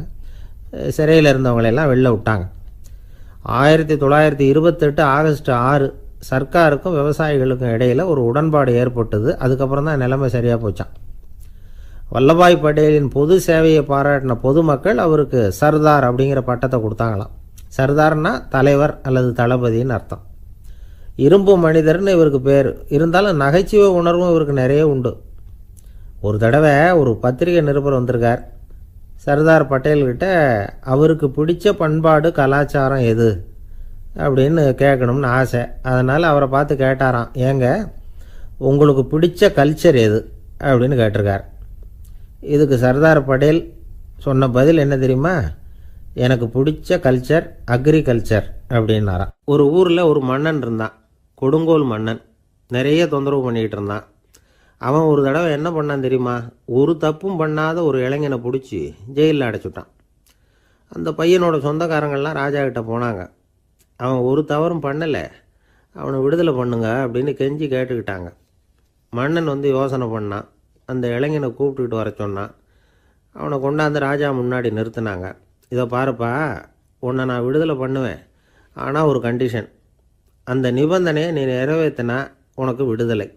அப்படின்னா மன்னன். சரின்னு ஒத்துக்கிட்டான் பையன். மன்னன் வந்து கண்டிஷன் என்னங்கிறத சொன்னான். உங்ககிட்ட ஒரு செம்மறி ஆட்டை கொடுக்க போகிறேன் ஒரு மாதத்துக்கு அதுக்கு தேவையான தீனியையும் கொடுக்க போகிறேன் ஒரு மாதம் கழித்து அந்த ஆட்டை வந்து எடை போட்டு பார்ப்பேன். அந்த ஆட்டின் எடை கொஞ்சம் கூட கூடி இருக்கக்கூடாது எடை கூடி இருந்தால் உனக்கு விடுதலை கிடையாது. என்ன சொல்கிற அப்படின்னா பையனுக்கு ஒன்றும் புரியல.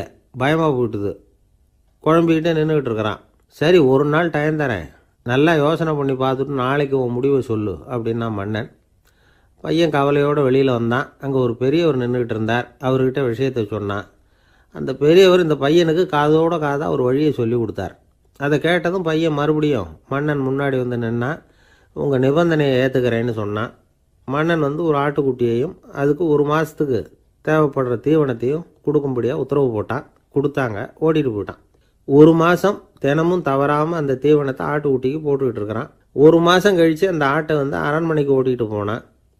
மன்னன் அதை எடை போட்டு பார்க்குறான். எடை கூடவே இல்லை. அப்படியே தான் இருக்குது.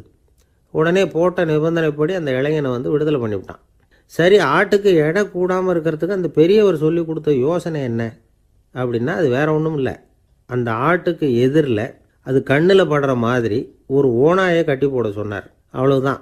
ஆட்டுக்கு ஓனாய்ங்கிறது பிறவி பகை. ஓனாயை பார்த்தா ஆடு நடுங்க ஆரம்பிச்சிரும். அவ்வளவு பயம். தினமும் அந்த ஆடு பயந்துக்கிட்டே தேனி சாப்பிட்டுது. எடை கூடல. அதுதான் ரகசியம். இது வந்து சின்ன பிள்ளைங்களுக்கான ஒரு கதை. இதிலேருந்து தெரிஞ்சுக்க வேண்டிய உண்மை என்னென்னா நாமெல்லாம் சாப்பிட்றப்போ மனசும் உடம்பும் அமைதியாக இருக்கணும். அப்போ தான் அது உடம்புல ஒட்டும். அவசரத்துலேயும் பயத்துலையும் சாப்பிட்டா அது சரியாக ஜீரணம் ஆகாது. இன்னொரு ராஜா இருந்தார். அவரும் ஒரு இளைஞனை ஜெயிலில் அடைச்சி விட்டார். விடுதலை பண்ணணும்னா ஒரு கண்டிஷன்னார் என்னன்னு கேட்டான். ஒரு ஆட்டுக்குட்டியை அவன் முன்னாடி கொண்டாந்து நிறுத்துவேன். நீ அதுக்கிட்ட ஒரு கேள்வி கேட்கணும். அது அதுக்கு சரியான பதிலை சொல்லணும். அப்படி செஞ்சுட்டா உனக்கு விடுதலைன்னார் இளைஞன் யோசனை பண்ணி பார்த்தான். சரின்னு ஒத்துக்கிட்டான். அது பிரகாரமே ஆட்டுக்குட்டியை பதில் சொல்ல வச்சுட்டான். என்ன நடந்தது தெரியுமா? ஆட்டுக்குட்டியை கொண்டாந்து நிறுத்தினாங்க. இவன் மெதுவாக அதுக்கிட்ட போனான்.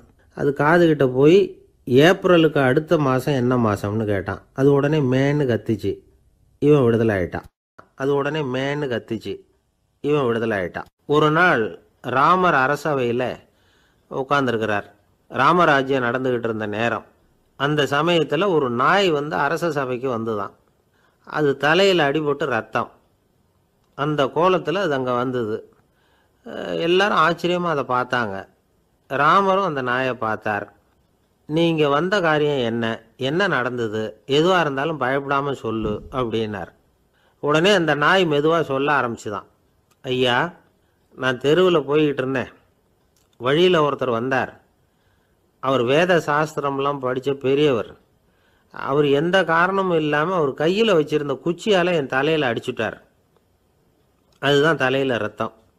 இதை நீங்கள் விசாரித்து தகுந்த தீர்ப்பு வழங்கணும் அப்படின்னு தான் அந்த நாய்.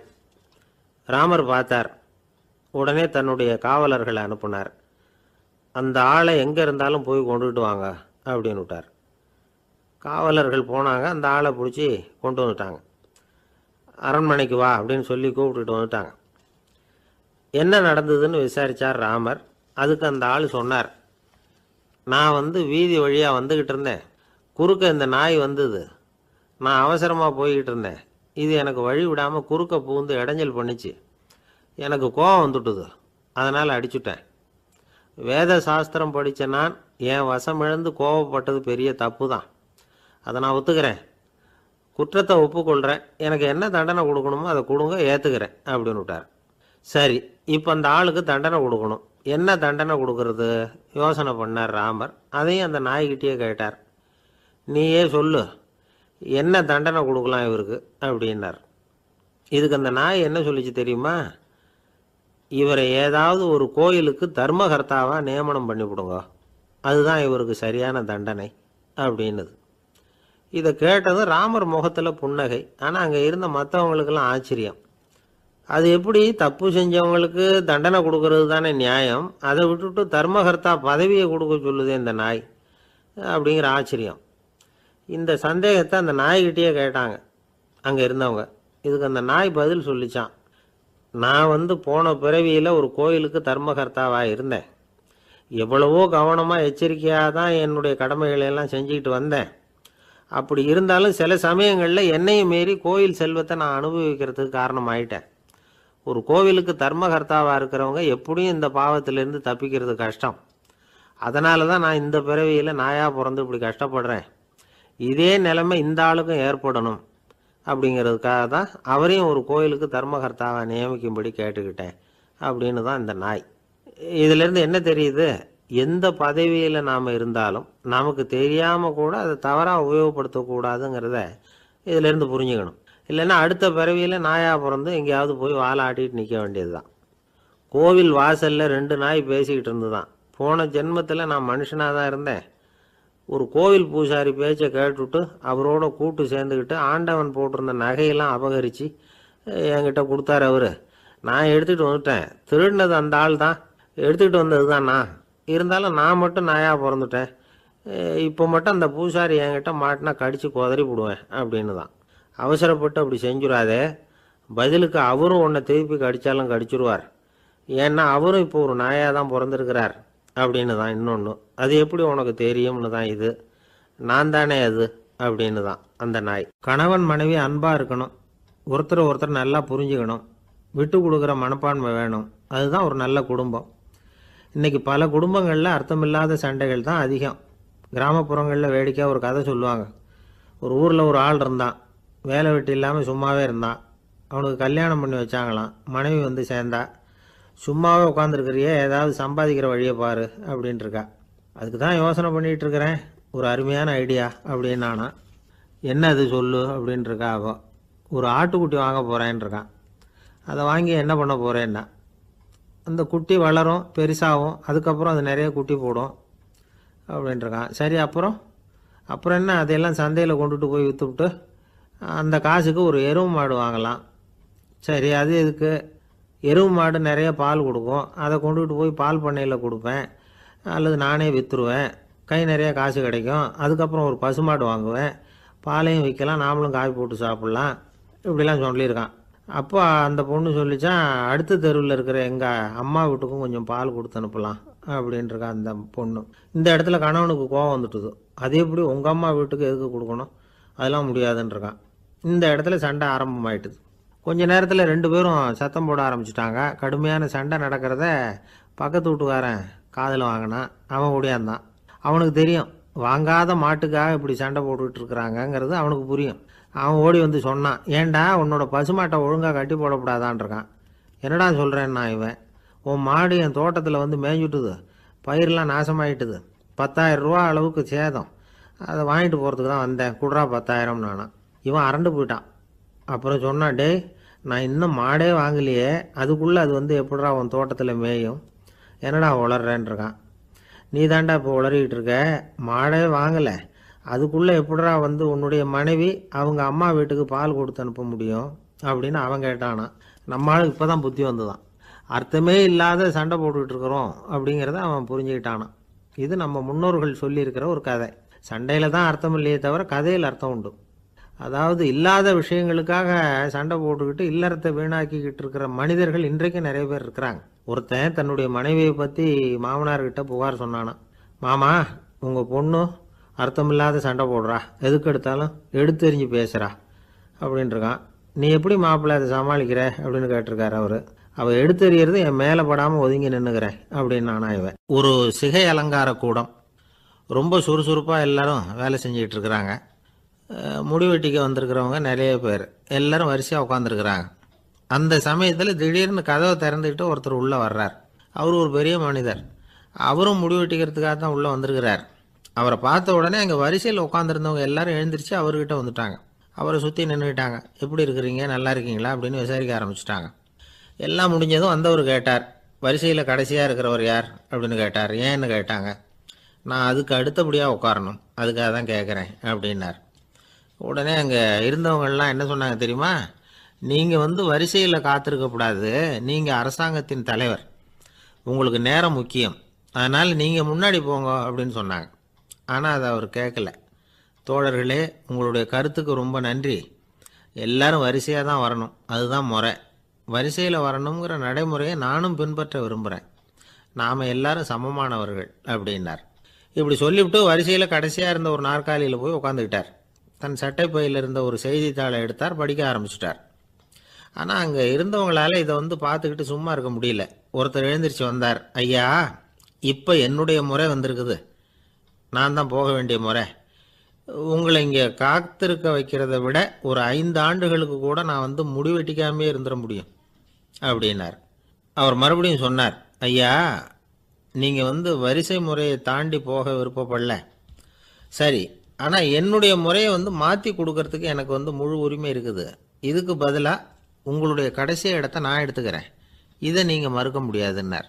அங்கேருந்து மற்றவங்களும் இதை ஒரு மனசாக வற்புறுத்த ஆரம்பிச்சிட்டாங்க. அந்த பெரிய மனிதர் பார்த்தார். சரின்னு கடைசியாக ஒத்துக்கிட்டார். அவர் யார் தெரியுமா? அவர் தான் மாவீரர் லெனின். ரஷ்யாவில் கிரம்லின் சிகை அலங்கார கூடத்தில் தான் இது நடந்தது. எல்லாரும் இந்நாட்டு மன்னர்கள்னு வாயளவில் பேசுகிறதுல என்ன பிரயோஜனம்? நாம் எல்லாரும் சமங்கிறத நடைமுறையில் கடைபிடிச்சி காட்டினவங்க கொஞ்சம் பேர் தான். அவங்களில் ஒருத்தர் தான் லெனின். வரிசையில் நின்று வர்றதுங்கிறது ஒரு சிறந்த பண்பு உயர்ந்த பண்பு. இன்றைக்கி பல இடங்களில் அது நமக்கு தேவைப்படுது. ஒரு ரேஷன் கடைவாசல் வாசல் கடை திறக்கிறதுக்கு முன்னாடியே எல்லாரும் வந்து வரிசையில் நின்றுட்டாங்க கடைசியாக வந்த ஒருத்தர் க்யூவில் முன்னாடி போகிறதுக்கு முயற்சி பண்ணுறார் ஏற்கனவே நின்றுட்டு இருக்கிறவங்க அவரை முன்னாடி போகிறதுக்கு விட மாட்டேங்கிறாங்க. கடைசியாக போய் நில்லையா? அப்படின்னு எல்லோரும் கத்துறாங்க. அது அவர் காதில் வாங்கலை. முண்டி அடிச்சுக்கிட்டு முன்னாடி போகிறதுக்கே முயற்சி பண்ணிகிட்டு இருக்கிறார். எல்லாரும் சேர்ந்து அவரை வலுக்கட்டாயமாக இழுத்து கொண்டாந்து பின்னாடி கொண்டு போய் நிறுத்திவிட்டாங்க. நிறுத்திவிட்டு சொன்னாங்க இதை பாருப்பா நாங்கள் இருக்கிற வரைக்கும் நீங்கள் முன்னாடி போய் எதையும் வாங்க முடியாது. தெரிஞ்சுக்கோ அப்படின்னாங்க. இப்போ அந்த ஆள் சொன்னாராம். நான் இங்கே பின்னாடி நிற்கிற வரைக்கும் நீங்களும் எதுவும் வாங்க முடியாது அப்படின்னாராம். ஏன்னு கேட்டிருக்கிறாங்க. நான் தான் அந்த கடையை திறக்க வேண்டிய ஆள்? அப்படின்னா அபூர்வமான திருடர்களும் உண்டு. ஒரு திருடன் சிறையிலிருந்து விடுதலையாகி வெளியில் போனான். கொஞ்ச நாளில் மறுபடியும் திரும்பி ஜெயிலுக்கு வந்துட்டான். அப்போது சிறை அதிகாரி அவனுக்கு வந்து அறிவுரை சொன்னாராம். ஏன்பா இப்படி அடிக்கடி தப்பு பண்ணிவிட்டு ஜெயிலுக்கு வந்து விடுறியே உனக்கு சொந்த பந்தம் எதுவும் இல்லையா? உனக்கு அப்பா அண்ணன் தம்பிகள் அவங்க கூட எல்லாம் சேர்ந்து வாழணுங்கிற ஆசை இல்லையா? அப்படின்னு கேட்டிருக்கார். அவங்களோட சேர்ந்து வாழணுங்கிற ஆசை எனக்கு நிறைய உண்டுங்க சார் அப்படின்னு நான் அவன் அப்புறம் எதுக்கு இப்படி ஜெயிலுக்கு வந்து விடுற அப்படின்னாரான் அவர். அவங்க எல்லாருமே இங்கே தானே சார் இருக்காங்க அப்படின்னு அவன் நம்மக்கிட்ட ஒருத்தன் தப்பாக நடந்துக்கிட்டானா உடனே நாம் என்ன செய்வோம்? கையை ஓங்கிட்டு அவனை அடிக்க போவோம். நாம் அவன்கிட்ட அவனை விட ஒருபடி மேலாக தப்பாக நடந்துக்குவோம். ஆனால் பெரியவங்கள்லாம் அப்படி நடந்துக்கிறது இல்லை இன்னா செய்தாரை ஒருத்தல் அவர் நாண நன்னயம் செய்து விடல் அப்படின்னு வள்ளுவர் சொல்லியிருக்கார் இல்லையா? அதுக்கு தகுந்த மாதிரி நடந்துக்குவாங்க. பாயசித் விஸ்தாமிங்கிறவர் ஒரு பெரிய ஞானி. அவர் ஒரு நாள் ராத்திரி ரொம்ப நேரம் மசூதியில் இருந்துட்டு வீட்டுக்கு திரும்பி வந்துக்கிட்டு இருக்கிறார். வழியில் ஒரு குடிகாரன். அவன் கையில் ஒரு இசைக்கருவி. அதை கண்ணா பின்னான்னு மீட்டிக்கிட்டு வாய்க்கு வந்தபடி என்னத்தையோ பாட்டுன்னு நினச்சிக்கிட்டு பாடிக்கிட்டு அவன் பாட்டுக்கு கிடக்கிறான் வழியில். அதோடு இருந்தாலும் பரவாயில்ல. அந்த பக்கமாக வழியில் போகிறவங்க வர்றவங்களையெல்லாம் பார்த்து கண்ணா பின்னான்னு திட்டிக்கிட்டு இருக்கிறான். ரொம்ப வளர்க்குறான் பாயசீத் பிஸ்தாமிங்கிற அந்த பெரியவர் அந்த வழியாக போகிறார் அவனை பார்க்குறார். அவனுடைய நிலைமையை பார்த்துட்டு பரிதாபப்படுறார். ஏன்பா இது மாதிரியெல்லாம் நடந்துக்கிற? இப்படி நடக்கலாமா?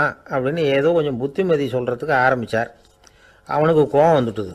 கையில் வச்சுருந்த வாத்திய கருவி அதால் ஓங்கி அந்த பெரியவர் தலையில் ஒரு அடி கொடுத்தான். ரத்த காயம் ஏற்பட்டு போச்சு. அவன் கையில் இருந்த இசைக்கருவியும் அடித்த வேகத்தில் ரெண்டாக உடஞ்சி போச்சு. அவ்வளோ வேகமாக அடிச்சிருக்கான். இவ்வளவு தூரத்துக்கு நடந்து போச்சுல்ல அந்த மாபெரும் ஞானி வாயை திறந்து ஒரு வார்த்தை கூட பேசலை. பேசாமல் தலையை பிடிச்சிக்கிட்டு அவர் பாட்டுக்கு போயிட்டார். மறுநாள் அந்த பெரியவர் என்ன பண்ணார் தெரியுமா? கொஞ்சம் இனிப்பு பண்டங்கள் கொஞ்சம் பணம் இது ரெண்டையும் ஒரு ஆள் மூலமாக அனுப்பி வச்சார் அந்த குடிகாரனுக்கு. அவனுக்கு ஒன்றும் புரியல. என்ன விவரம்னு விசாரித்தான் வந்த ஆள் ஒரு கடுதாசியை நீட்டினான். அதில் விவரம் இருந்தது. ஞானி எழுதியிருக்கிறார். இதை பார்ப்பா. உங்களுடைய இசைக்கருவி உடையறதுக்கு என்னுடைய தலை காரணமாக ஆயிட்டுது. அதுக்காக நான் ரொம்ப வருத்தப்படுறேன். அதுக்காக தான் பணம் அனுப்பி வச்சுருக்கேன். வேறு புதுசாக ஒரு இசைக்கருவி வாங்கிக்கோ. அப்புறம் இன்னொரு விஷயம். நேற்றுக்கு ராத்திரி என்கிட்ட ஏகப்பட்ட கசப்பான வார்த்தைகளை வந்து பேசினேன். இதோடு அனுப்பியிருக்கிற இனிப்பு பண்டங்களை சாப்பிட்டு உன்னுடைய நாவில் உள்ள கசப்பை மாற்றிக்கும் அப்படின்னு அதில் எழுதப்பட்டிருந்தது. இந்த சமயத்தில் அவன் வந்து குடி மயக்கத்தில் இல்லை தெளிஞ்சு போயிருந்த நேரம் அது. அதனால் அதை படித்த உடனே அவனுக்கு ரொம்ப வெக்கமாக போச்சு. தலை குனிஞ்சான் யோசனை பண்ணான். கொஞ்ச நேரத்தில் தன்னுடைய நண்பர்கள் சில பேரையும் கூப்பிட்டுக்கிட்டு நேராக அந்த ஞானி இருக்கிற இடத்துக்கு ஓடினான். அவர் காலில் விழுந்தான் அவர்கிட்ட மன்னிப்பு கேட்டுக்கிட்டான். பெரியவங்களே தெரியாமல் வந்து நான் இந்த பாவச் செயலை பண்ணிவிட்டேன். என்னை மன்னிச்சுங்க உங்களுடைய பொறுமையும் போதனையும் என்னுடைய கண்ணை திறந்துட்டுது இனிமேல் நானும் என்னுடைய நண்பர்களும் நல்ல வழியில் திருந்தி வாழ போகிறோம் அப்படின்னா. ஞானி செய்த நன்னயம் குடிகாரனை எப்படி திருத்தியிருக்கு பார்த்தீங்களா இந்த கதையை கேட்டுவிட்டு ஒருத்தர் சொன்னார் என் வாழ்க்கையில் கூட அப்படி ஒரு சம்பவம் நடந்தது சார். நானும் ஒரு நாள் ராத்திரி ஓவராக குடிச்சிட்டு ஒரு கிட்டாரை வாசிச்சுக்கிட்டு கண்ணாபின்னான்னு உளறிக்கிட்டு திட்டிக்கிட்டு இருந்தேன். அந்த சமயம் அந்த வழியாக ஒருத்தர் வந்தார். ஓங்கி தலையில் ஒரே ஒரு அடி ரத்தம் வந்துட்டுது. அதுக்கப்புறம் என் மனசு தெரிந்துட்டுது சார். அப்படின்னார். அப்படியா என்ன ஆச்சரியமா. ஆமாம் சார். அடி விழுந்தது அவர் தலையில் இல்லை ஏன் தலையில். வந்தவர் என்ன அப்படி அடிச்சுட்டார்? மயக்கம் தெளிஞ்சதுக்கு அப்புறம் தான் எனக்கு விவரம் புரிஞ்சுது. அவர் ஒரு போலீஸ்காரர். அப்படின்னார். ரொம்ப சோகமாக ஒரு ஊரில் ஒரு துறவி இருந்தார். புத்த சமய துறவி. அந்த ஊர் மன்னன் அவரை பற்றி கேள்விப்பட்டிருக்கான். ஒரு நாள் புறப்பட்டு போனான் துறவியின் பாதங்களை தொட்டு வணங்கினான் அதுக்கப்புறம் சொன்னான் ஐயா நான் உங்களை அரண்மனைக்கு அழைச்சிட்டு போகிறதுக்காக வந்திருக்கிறேன். இனிமே நீங்கள் இங்கே எதுக்கு இருக்கணும்? அப்படின்னானா. அவன் மனசுக்குள்ளே என்ன நினப்புன்னா இவர் எங்கே வரப்போகிறாரு நான் ரொம்ப எளிமையானவன் எனக்கு எதுக்கு அரண்மனை வாசம்னு சொல்லிவிடுவார்? அப்படின்னு நினச்சிருக்கான். ஆனால் அந்த துறவி என்ன பண்ணார் தெரியுமா? அப்படியா சரி போகலாம் வா. போய் உன் ரதத்தை கொண்டுட்டு வா. அரண்மனைக்கு போகும்பொழுது அதுக்கு தகுந்த மாதிரி ஆடம்பரமாக போகணும் அப்படின்னு விட்டாரான் துறவி இப்படி சொன்னதும் அந்த மன்னனுக்கு மனசுக்குள்ளே சந்தேகம் வந்துட்டுது. இவர் உண்மையிலேயே துறவி தானா ஏமாத்து பேர் வழி மாதிரி தெரியுதே அப்படின்னு நினச்சிருக்கான். இருந்தாலும் இனிமேல் என்ன பண்ணுறது சொல்லியாச்சு. ரதத்தை கொண்டுகிட்டு வந்தான். துறவி ஏறி உக்காந்தார். பக்கத்தில் ராஜா. அவர் ரொம்ப உற்சாகமாக வரார். இவன் ரொம்ப சோர்ந்து போய் வரான். துறவி மரத்தடியிலேயே வாழ்ந்து பழக்கப்பட்டவர். அரண்மனையில் எளிமையாக ஒரு இடத்துல உட்காந்துக்குவார் அப்படின்னு நினச்சான். ஆனால் அப்படி இல்லை. அரண்மனைக்கு வந்த உடனே அந்த துறவி அதை கொண்டுட்டு வா இதை கொண்டுட்டு வான்னு சொல்லி உத்தரவு போட ஆரம்பிச்சிட்டார். அரண்மனையில் இருந்தால் அரசனை மாதிரி இருக்கணும் அப்படிங்கிறார். ராத்திரி பூரா சௌரியமாக தூங்கினார். பகலில் அரண்மனை தோட்டத்தில் உலாவ வேண்டியது நீச்சல் குளத்தில் குளிக்க வேண்டியது இப்படியே பொழுது போக்கிட்டு இருக்கிறார். அந்த அரண்மனையில் துறவி வந்து மகிழ்ச்சியாக இருக்கிறார். மன்னனால் அப்படி இருக்க முடியல. அவருக்கு எந்த கவலையும் இல்லை. இவனுக்கு அரசாங்க கவலைகள். துறவி அப்படி இருக்கிறத இவனால் தாங்கிக்க முடியல. ஒரு நாள் அவர்கிட்டயே போய் நான் உங்ககிட்ட கொஞ்சம் பேசணும் நானா. துறவி பார்த்தார். நான் இந்த அரண்மனைக்கு வரும்பொழுதே நீ என்னமோ என்கிட்ட கேட்கணும்னு நினச்ச. ஏன் காலதாமதம்? நீ அனாவசியமாக உன்னையே தொந்தரவு பண்ணிட்டு இருக்கிற. நீ கவலையாக இருக்கேங்கிறது எனக்கு புரியுது. நான் மரத்தடியில் இருந்தப்போ கூட என்னை அடிக்கடி வந்து சந்திச்சுக்கிட்டு இருப்பேன் ஏதாவது விளக்கம் கேட்கறது உண்டு. இங்கே வந்த பிறகு என்னை சந்திக்கிறது கூட அபூர்வமாக போயிட்டுது. நீ இப்போ என்ன கேட்க போகிறேங்கிறது எனக்கு தெரியும். இருந்தாலும் கேள் அப்படின்னாராம். வேற ஒன்றும் இல்லைங்க. இப்போ உங்களுக்கும் எனக்கு என்ன வித்தியாசம்? ரெண்டு பேரும் அரண்மனையில் தான் இருக்கிறோம். நீங்கள் மகிழ்ச்சியாக இருக்கிறீங்க. நான் அப்படி இருக்க முடியல. இவ்வளவுக்கும் நீங்கள் முன்னாடி இருந்தது மாதிரி இல்லை. தினமும் தங்க தேர் கேட்குறீங்க உயர்தரமான ஆடைகள் அணியிறீங்க. சுவையான சாப்பாடு. இப்படி இருக்கிறப்போ உங்களுக்கும் எனக்கு என்ன வித்தியாசம்? இதுதான் மன்னனுடைய கேள்வி. இதுக்கு பதில் சொல்கிறேன் என் கூட புறப்பட்டு வா. இந்த நகரத்துக்கு வெளியில் போவோம் அப்படின்னு சொல்லி அரசனை கூப்பிட்டுக்கிட்டு ஊர் எல்லைக்கு வந்து சேர்ந்தார் துறவி. அங்கே போய் சொன்னார் இதை பாருப்பா இந்த இடத்த தான் தேடிக்கிட்டு இருந்தேன். இனிமே நான் வந்து திரும்பி வரப்போறதில்ல. நீ என்னோட வர்றியா? திரும்பி போறியா? அப்படின்னார். நான் எப்படிங்க உங்கள் கூட வர முடியும்? என்னுடைய நாடு என்னுடைய சொத்துக்கள் மனைவி மக்கள் எல்லாத்தையும் விட்டுட்டு எப்படிங்க வர்றதுன்னா இப்போ அந்த துறவி சொன்னார் இப்போ வித்தியாசத்தை தெரிஞ்சுக்கிட்டியா? நான் அரண்மனையில் இருந்தேன். எல்லா வித பொருள்களும் உடையவனாக இருந்தேன். ஆனால் எதையும் சொந்தம் கொண்டாடுறவனா இருக்கல. ஆனால் நீ அப்படி இல்லை எல்லாத்தையும் சொந்தம் கொண்டாடிக்கிட்டு இருக்கிற. இதுதான் நமக்குள்ள வித்தியாசம் அப்படின்னு சொன்னார். அரண்மனை ஆடைகளை அப்படியே களைஞ்சார் அரசங்கிட்ட கொடுத்தார். உன்னுடைய ஆடைகளை நீயே வச்சுக்கோன்னார். அவர் பாட்டுக்கு நடந்து போனார் திரும்பியே பார்க்கல. அரசனுக்கு அப்போதான் தன்னுடைய அறியாமை விளங்குச்சான். இதிலேருந்து நாம் புரிஞ்சுக்க வேண்டியது என்னென்னா இந்த உலகத்தில் எத்தனையோ பொருள்கள் அதையெல்லாம் முறையாக பயன்படுத்தினா மகிழ்ச்சி. அதை விட்டுட்டு அதுக்கெல்லாம் சொந்தம் கொண்டாட ஆரம்பித்தா கவலை. நம்ம ஆட்கள் வந்து சொந்தம் கொண்டாடுற விதமே தனி. ஒரு ஆள் இன்னொருத்தங்கிட்ட ஒரு கொடை கடன் வாங்கியிருந்தான் திருப்பி கொடுக்கல. கொடையை கொடுத்தவன் கேட்டான் என்கிட்ட கடன் வாங்கினிய கொடை அதை கொஞ்சம் திருப்பி தர்றியான்னா அது உனக்கு இப்போ அவசரமாக தேவைப்படுதா? அப்படின்னு கேட்டான் இவன். எனக்கு தேவைப்படலை. அந்த கொடையை நான் யாருக்கிட்ட வாங்கியிருந்தேனோ அவனுக்கு இப்போ அது அவசரமாக தேவைப்படுது அப்படின்னு அந்த ஆள். அந்த ஆளுக்கு பேச தெரியாது. அவர்கிட்ட கொஞ்சம் எச்சரிக்கையாக நடந்துக்கோ அப்படின்னு சொல்கிறது உண்டு. அப்படின்னா என்ன அர்த்தம்? அவர் இன்னமும் குழந்தையாகவே இருக்கிறாரு. இன்னும் பேச்சு வரலன்னு அர்த்தம்? அப்படி இல்லை. அவருக்கு நாகரிகமாக பேச தெரியலன்னு அர்த்தம். பேசுறதுங்கிறது மனுஷனால் மட்டுமே முடியக்கூடிய ஒரு காரியம். அப்படி இருந்தும் அதோட பெருமையை வந்து அவன் இன்னமும் சரியாக புரிஞ்சிக்கலைன்னு தான் சொல்லணும். அதனால தான் அவன் அளவுக்கு அதிகமாக வார்த்தைகளை கொட்டி போடுறான் அதுக்கப்புறம் அதையெல்லாம் திருப்பி அள்ள முடியாமல் கிடந்து கஷ்டப்படுறான். கொட்டின வார்த்தையை அள்ள முடியுமா? ஒருத்தரை இன்னைக்கு பார்த்து முட்டாள்னு திட்டி போடுறீங்க நாளைக்கு மறுபடியும் அவர்கிட்ட போய் நேத்திக்கு உன்னை முட்டாள்னு சொல்லிவிட்டேன். அந்த வார்த்தையை திருப்பி கொடு வாங்கிட்டு போயிடுறேன். அப்படின்னா நான் சொல்ல முடியும். அவன் கோபக்காரனாக இருந்தால் நேத்திக்கே அதை வேறு விதமாக உங்களுக்கு திருப்பி கொடுத்துருப்பான். உலகத்தில் எவ்வளவோ ஜீவராசிகள் இருக்குது அதுக்கெல்லாம் வாய் இருக்குது. அந்த வாயெல்லாம் எதுக்கு உபயோகம்? சாப்பிட்றதுக்காக. ஆனால் நமக்கு இருக்கிற வாய் சாப்பிட்றதுக்காக மட்டும் இல்லை பேசுகிறதுக்காகவும் தான். பேச முடியலன்னா வாய் இருந்தால் கூட அது வாயில்லா ஜீவன் தான் ஒரு பையனை பார்த்து அது வாய் உள்ள புள்ள பொழைச்சிக்கும். அப்படின்னா மற்ற பையன்களுக்கெல்லாம் முகத்தில் வாயே இல்லைன்னு அர்த்தம். அப்படி இல்லை. அந்த பையன் கொஞ்சம் கெட்டிக்காரத்தனமாக பேசுவான்னு அர்த்தம். அதனால் எப்படி பேசணும் அப்படிங்கிறத நாம் முக்கியமாக தெரிஞ்சுக்கணும். இதுக்கு எட்டு விதமான குறிப்புகளை நம்ம பெரியவங்க சொல்லியிருக்கிறாங்க. பேச்சுக்கு எட்டு அங்கங்கள் உண்டு அப்படின்னு அவங்க சொல்கிறாங்க அதெல்லாம் என்னென்ன? அப்படின்னா உண்மை நன்மை அன்பு நிதானம் இனிமை ஆழம் சமயமறிதல் சபையறிதல். இந்த எட்டு தன்மையும் பேச்சில் இருக்கணுமா?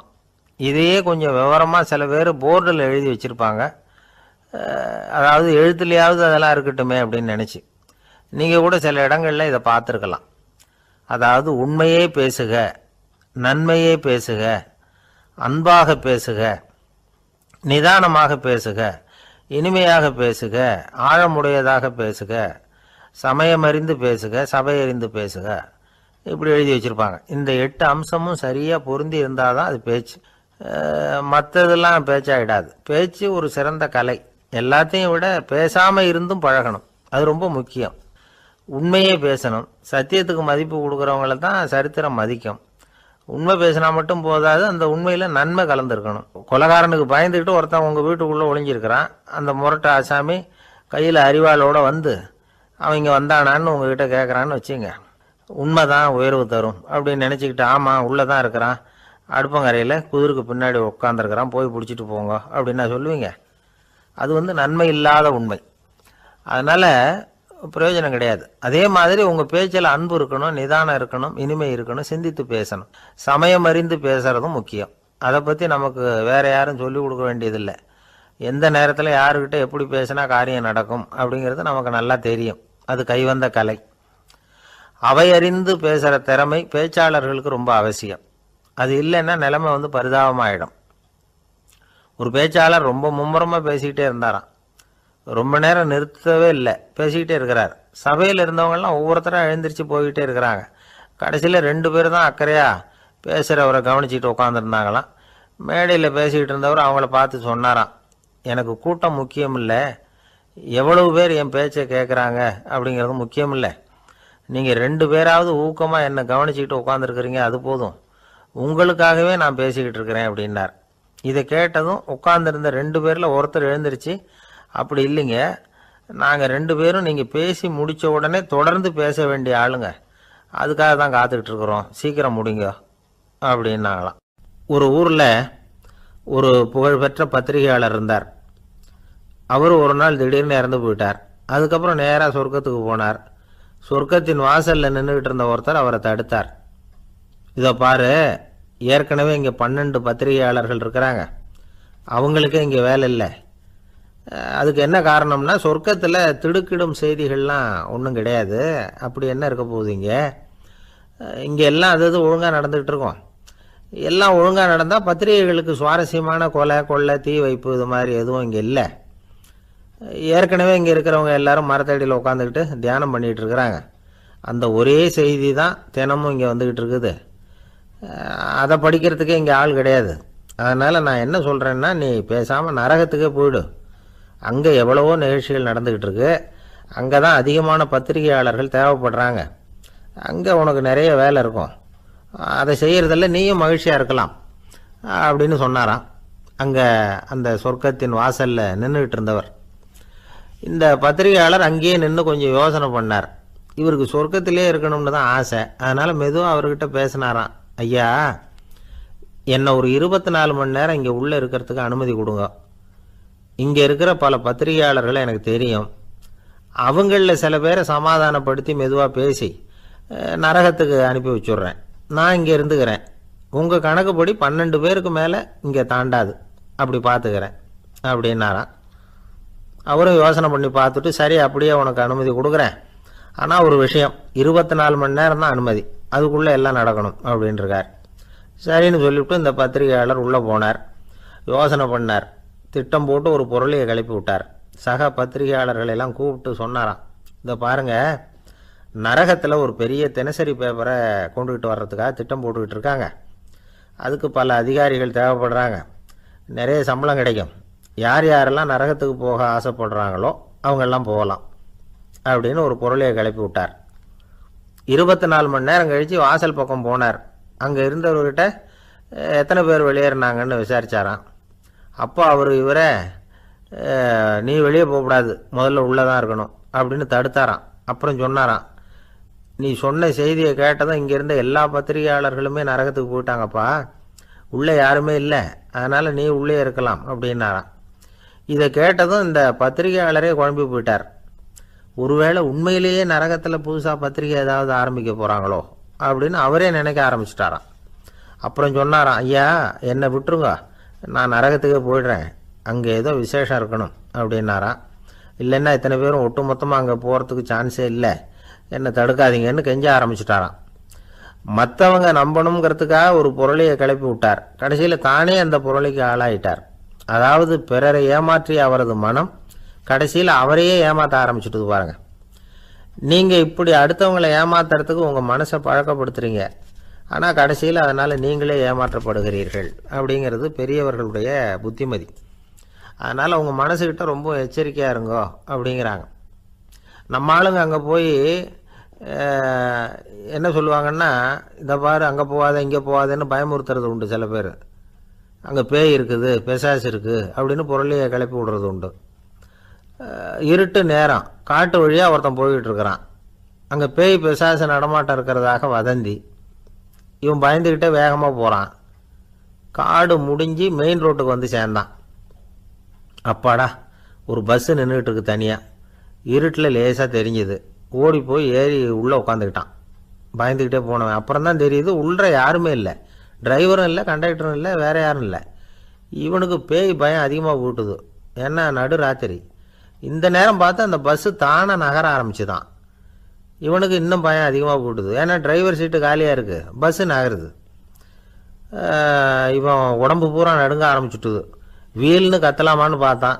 அந்த நேரம் பார்த்து அவன் தோளில் ஒரு கை விழுந்துதான் திடுக்கிட்டு திரும்பி பார்த்துருக்குறான். அங்கே டிரைவர் நிற்கிறார் அவர் சொன்னாராம் ஏன்பா ஏற்கனவே பஸ்ஸு பிரேக் டவுன் நாங்கள்லாம் பின்னாடி இறங்கி நின்று தள்ளிகிட்டு இருக்கிறோம். நீ மட்டும் ஜாலியாக ஏறி உக்காந்துக்கிட்டியா? இறங்கி வந்து தள்ளப்பா அப்படின்னாராம். இருட்ட கண்டா பயம் உண்டாவதே அது ஏன்? இப்படி ஒரு கேள்வியை ஒரு பெரியவர்கிட்ட கேட்டாங்க. அதுக்கு அவர் பதில் சொல்றார். மனிதனுடைய ஆதிகால வாழ்க்கையில தொற்றிக்கொண்ட பயம் இது. இது வந்து வேறொன்றி இருக்குது. இன்னமும் போகல.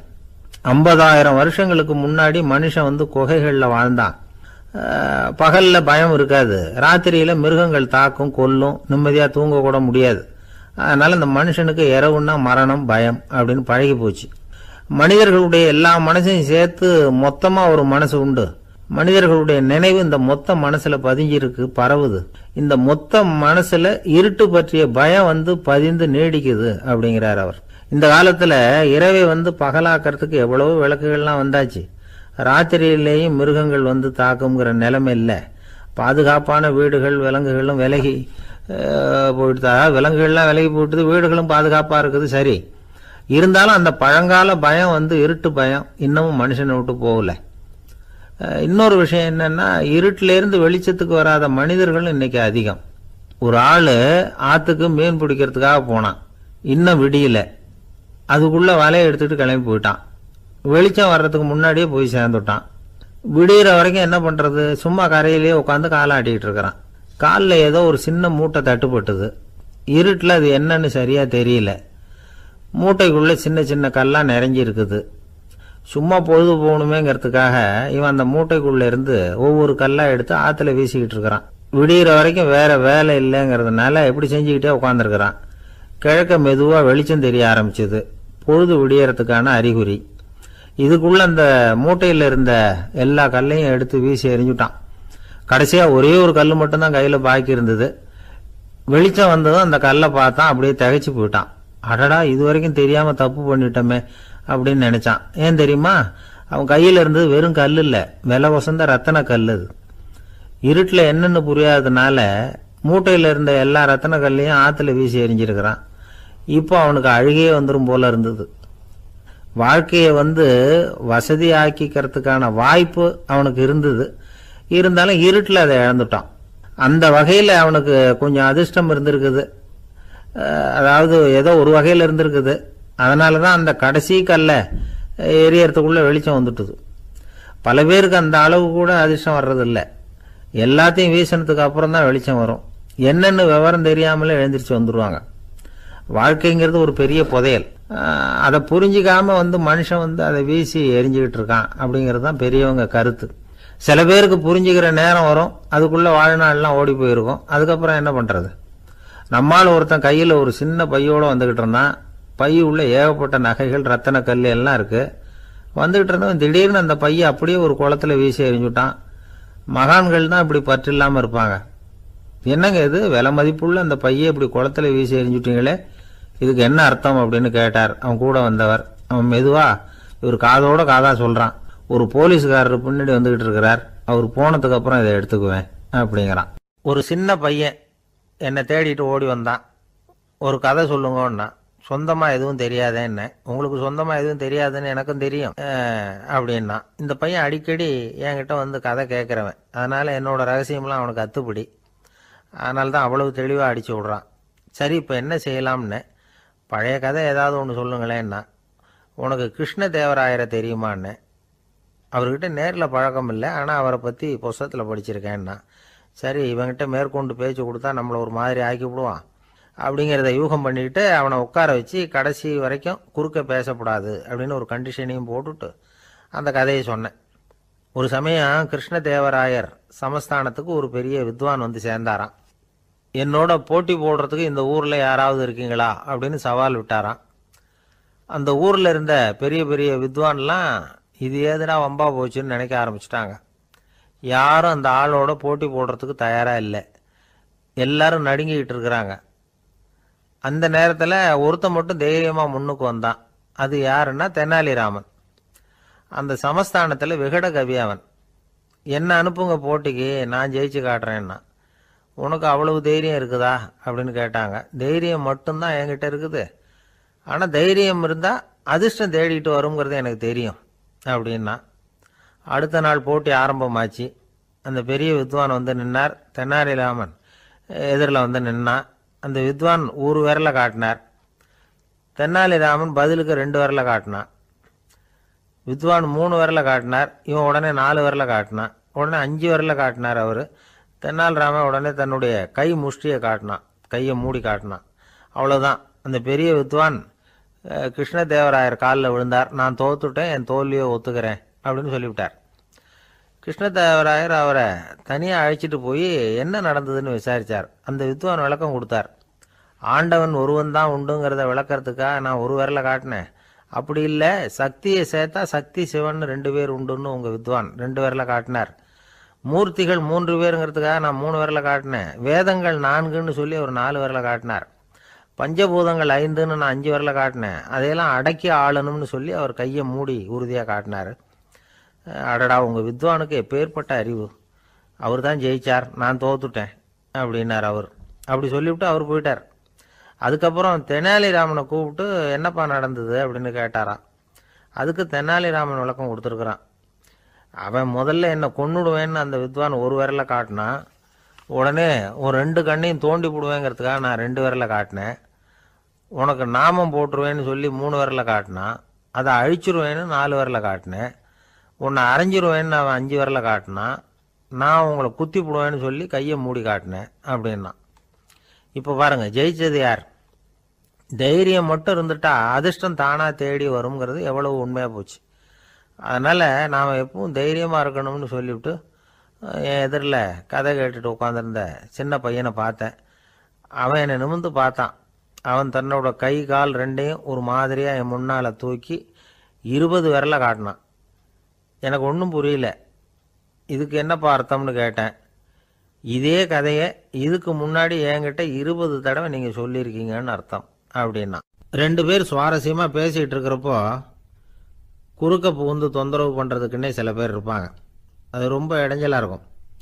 இதே மாதிரி மின்காந்தம் கூட குறுக்க புகுந்து தொந்தரவு பண்ணும். கடைசியில் அது ஒரு பெரிய இடைஞ்சலில் கொண்டாந்து விட்டுரும். சில வீடுகளில் கேபிள் கனெக்ஷன் இல்லாமல் சில தனியார் டிவி காட்சிகள் தெரியும். அதுக்கு என்ன காரணம்னா இந்த மின்காந்த குறுக்கீடு தான் காரணம். இதைத்தான் சுருக்கமாக இஎம்ஐ அப்படின்னு சொல்கிறாங்க அதாவது எலக்ட்ரோ மேக்னெட்டிக் இன்டர்ஃபியரன்ஸ் இது ஏற்படக்கூடிய இடங்கள் எது எதுன்னு எடுத்துக்கிட்டால் அது ஒரு பெரிய பட்டியலாகவே போயிடும். இந்த இஎம்ஐ தொந்தரவு வந்து கேபிள் டிவியில் மட்டும்தான் இல்லை. ராக்கெட் ஏவுதளத்தில் உள்ள ரேடார்கள் அங்கே உள்ள சில சக்தி வாய்ந்த தொலைத்தொடர்பு சாதனங்கள் விமான தளங்களில் உள்ள ரேடார்கள் கப்பல் தளங்களில் பொருத்தப்பட்டிருக்கக்கூடிய சக்தி வாய்ந்த ஆண்டனாக்கள். இப்படி நிறைய சொல்லலாம். காவல் நிலையங்களில் பயன்படுத்தப்படுகிற வயர்லெஸ் தொடர்பு சாதனங்கள் கூட ஓரளவுக்கு இந்த மின்காந்த அலைகளை வந்து வெளியிடும்.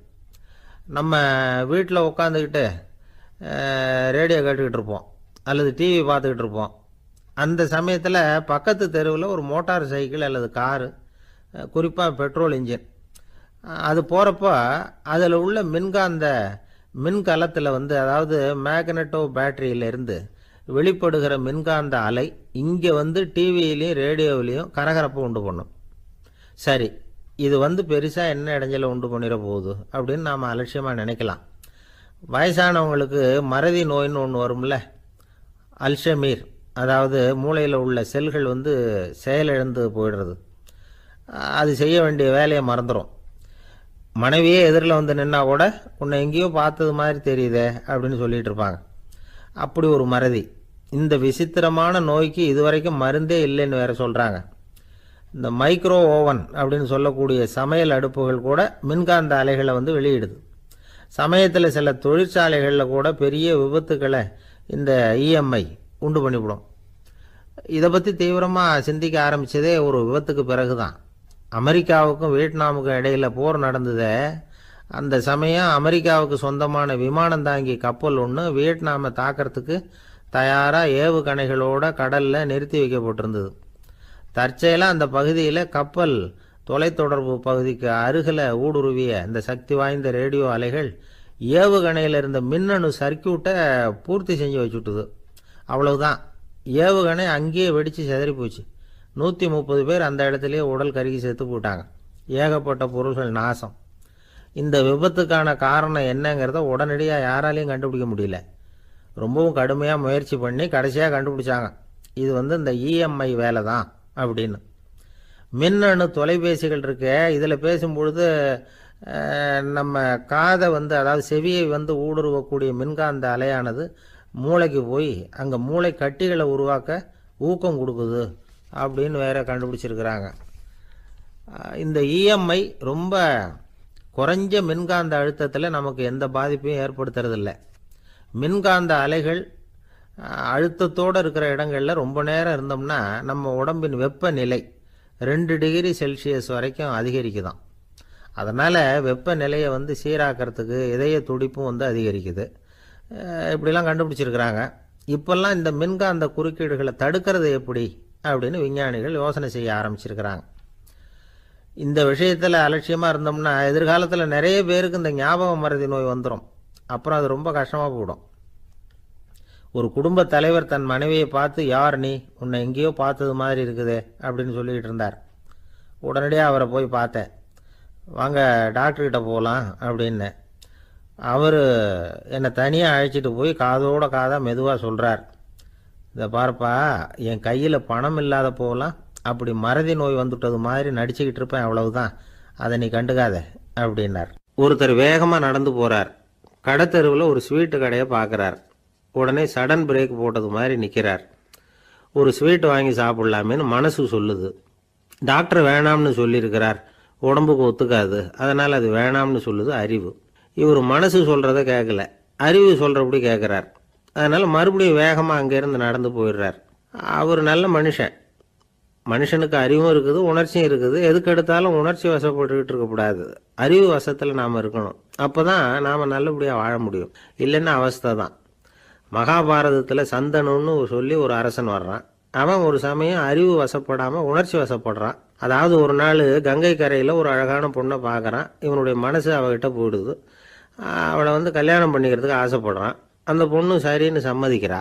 ஆனால் ஒரு நிபந்தனை போடுறா. அந்த நிபந்தனைக்கு சம்மதம்னு சொன்னாதான் உன்னை கல்யாணம் பண்ணிக்குவேன்னு சொல்கிறா சரி அவள் போட்ட நிபந்தனை என்ன தெரியுமா? இது மாதிரி நான் உங்கள் மனசு புண்படுற மாதிரி எந்த காரியம் பண்ணாலும் நீங்கள் என்ன ஏன்னு கேட்கக்கூடாது. நான் செய்கிற காரியத்தை தடுக்கவும் கூடாது. அப்படி நீங்கள் செஞ்சால் அடுத்த கணமே நான் உங்களை பிரிஞ்சு போயிடுவேன். இதுதான் அந்த பொண்ணு போட்ட நிபந்தனை. சந்தன அரசன் இந்த நிபந்தனையை வந்து ஒத்துக்கலாமா இதை? அறிவுபூர்வமாக யோசிச்சிருந்தா இதுக்கு கட்டுப்பட்டுருக்க மாட்டான். இந்த நிபந்தனைக்கு நான் சம்மதிக்க மாட்டேன்னு தான் சொல்லியிருக்கணும். ஆனால் அவன் அந்த நேரத்தில் உணர்ச்சி வசத்தில் இருந்தான். அதனால் நீ என்ன சொன்னாலும் சரின்னு ஒத்துக்கிட்டான். அவ்வளோ கல்யாணம் பண்ணிக்கிட்டான். இதனால் என்னாச்சு ஏழு பச்சை இளம் குழந்தைகளை பிறந்த உடனே அவள் கங்கையில் தூக்கி எறிஞ்சு கொல்லக்கூடிய கோர காட்சியை இவன் ஒன்று பின்னாடி ஒன்றா பார்க்க வேண்டியதாக போச்சு. கடைசியில் எட்டாவது குழந்தை பிறந்ததுன்னா அவனுடைய அறிவு மேலோங்குது. அந்த கொடிய செயலை தடுத்து நிறுத்துறான். அந்த எட்டாவது குழந்தை தான் பின்னாடி பீஷ்மர் ஆகிறார். ஒரு பக்தி பிரசங்கத்தில் ஒரு பேச்சாளர் இந்த விஷயத்தை சொல்லிவிட்டு இன்னொரு விஷயமும் சொன்னார். அது என்னென்னா சந்துனு மன்னன் அறிவுக்கும் உணர்ச்சிக்கும் நடுவில் அகப்பட்டு தவிச்சதுனால அவன் வம்சத்தில் வந்த கௌரவர்கள் வந்து உணர்ச்சி வசப்பட்டாங்க. பாண்டவர்கள் வந்து அறிவு வசப்பட்டாங்க அப்படின்னு சொன்னார். மனுஷனுக்கு உணர்ச்சியை விட அறிவு மேலோங்கி இருக்கணுங்கிறது சரிதான். ஆனால் அந்த அறிவை வந்து எப்படி உபயோகப்படுத்துகிறோங்கிறது முக்கியம். ஒருத்தர் சொன்னார் சார் இன்னைக்கு கோயம்புத்தூரில் ஒரு கல்யாணம். அதுக்கு நான் போக முடியலேன்னு நினைக்கும் பொழுது மனசுக்கு ரொம்ப வருத்தமாக இருக்குது சார் அப்படின்னார். ரொம்ப உணர்ச்சி வசப்பட்டார். அதுக்காக கவலைப்படாதீங்க சார். ஒரு வாழ்த்து தந்தி கொடுத்துருங்களேன் அப்படின்னார் இன்னொருத்தர். அது எப்படி சார் முடியும்னார் அவர்? நான் தானே சார் கல்யாண மாப்பிள்ளை அப்படிங்கிறார் அந்த ஆள். ஒரு ஆளை அடையாளம் கண்டுபிடிக்கணும்னா அதுக்கு சுலபமான வழி என்ன? முகத்தை பார்த்து கண்டுபிடிக்கிறது தான். ஆனால் மனுஷன் தப்பு பண்ண ஆரம்பிக்கும் பொழுது அவனை கண்டுபிடிக்கிறதுக்கு வேறு வழிகளை தான் கையாள வேண்டியிருக்கு. கைரேகை அதுக்கு ரொம்ப உபயோகப்படுது. கைரேகைகள் வந்து ஒருத்தருக்கு இருக்கிறது மாதிரி இன்னொருத்தருக்கு இருக்கிறது இல்லை பல் வரிசையும் அப்படி தான் ஏமாத்துறவங்க அதிகமாக போனால் இருக்கிறவங்க எச்சரிக்கையாக இருக்க வேண்டியிருக்குது. பயோமெட்ரிக்ஸ் அப்படிங்கிறது ஒரு பெரிய தொழில்நுட்பம். இதை உபயோகப்படுத்தி சில பாதுகாப்பு உத்திகளை எல்லாம் உருவாக்கி இருக்கிறாங்க அமெரிக்காவில். வீட்டுக்கு சொந்தக்காரர் குரல் கொடுத்தா கதவு திறக்கும். அல்லது அவர் கை வச்சா கதவு திறக்கும். மற்றவங்க யார் என்ன பண்ணாலும் கதவு திறக்காது. இது ஒரு முறை. அவரோட குரல் அல்லது கைரேகை ஒரு எலக்ட்ரானிக் சாதனத்தில் ஏற்கனவே பதிவு பண்ணப்பட்டிருக்கும். இவர் குரல் கொடுக்குறப்போ அல்லது கையை வைக்கிறப்போ அதை ஒப்பிட்டு பார்த்து சரியா இருந்தால் கதவு திறக்கிறது மாதிரி ஒரு ஏற்பாடு இதே மாதிரி ஒருத்தரோட விழித்திரையில உள்ள இரத்த குழாய் அமைப்பு பாருங்க. அது கூட ஒருத்தருக்கு இருக்கிறது மாதிரி இன்னொருத்தருக்கு இருக்கிறது இல்லை. அதனால அதை வச்சு அடையாளம் கண்டுபிடிக்கக்கூடிய சாதனங்களும் இப்போ பழக்கத்துக்கு வந்தாச்சு.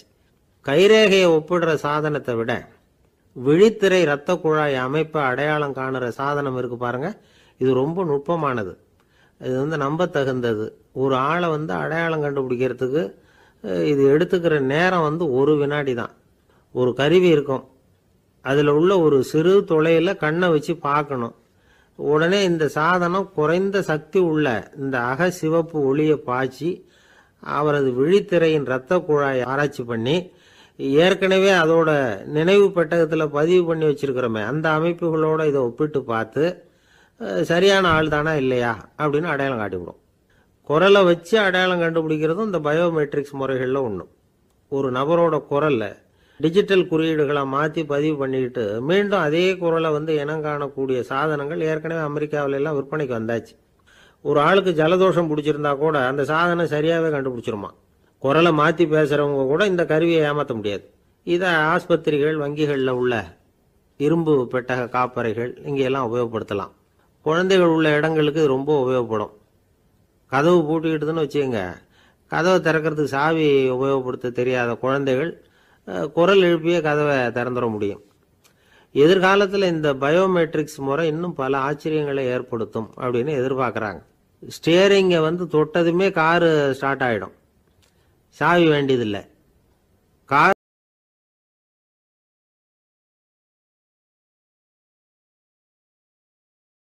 சாலை ஓரமாக அழுதுகிட்டு உட்காந்துருந்தான் பிச்சை எடுத்து சாப்பிட்ற ஒருத்தன் அந்த பக்கமாக வந்தான். இவனை பார்த்தான். ஏன் அழுதுகிட்டு உட்காந்துருக்குற என்னாச்சு உனக்கு? அப்படின்னு கேட்டான். அதுக்கு இவன் சொன்னான் என்கிட்ட ஒன்றுமே இல்லை. நான் இந்த உலகத்தில் இருந்து என்ன பிரயோஜனம்? அதனால தான் அழுதுகிட்டு இருக்கிறேன் அப்படின்னா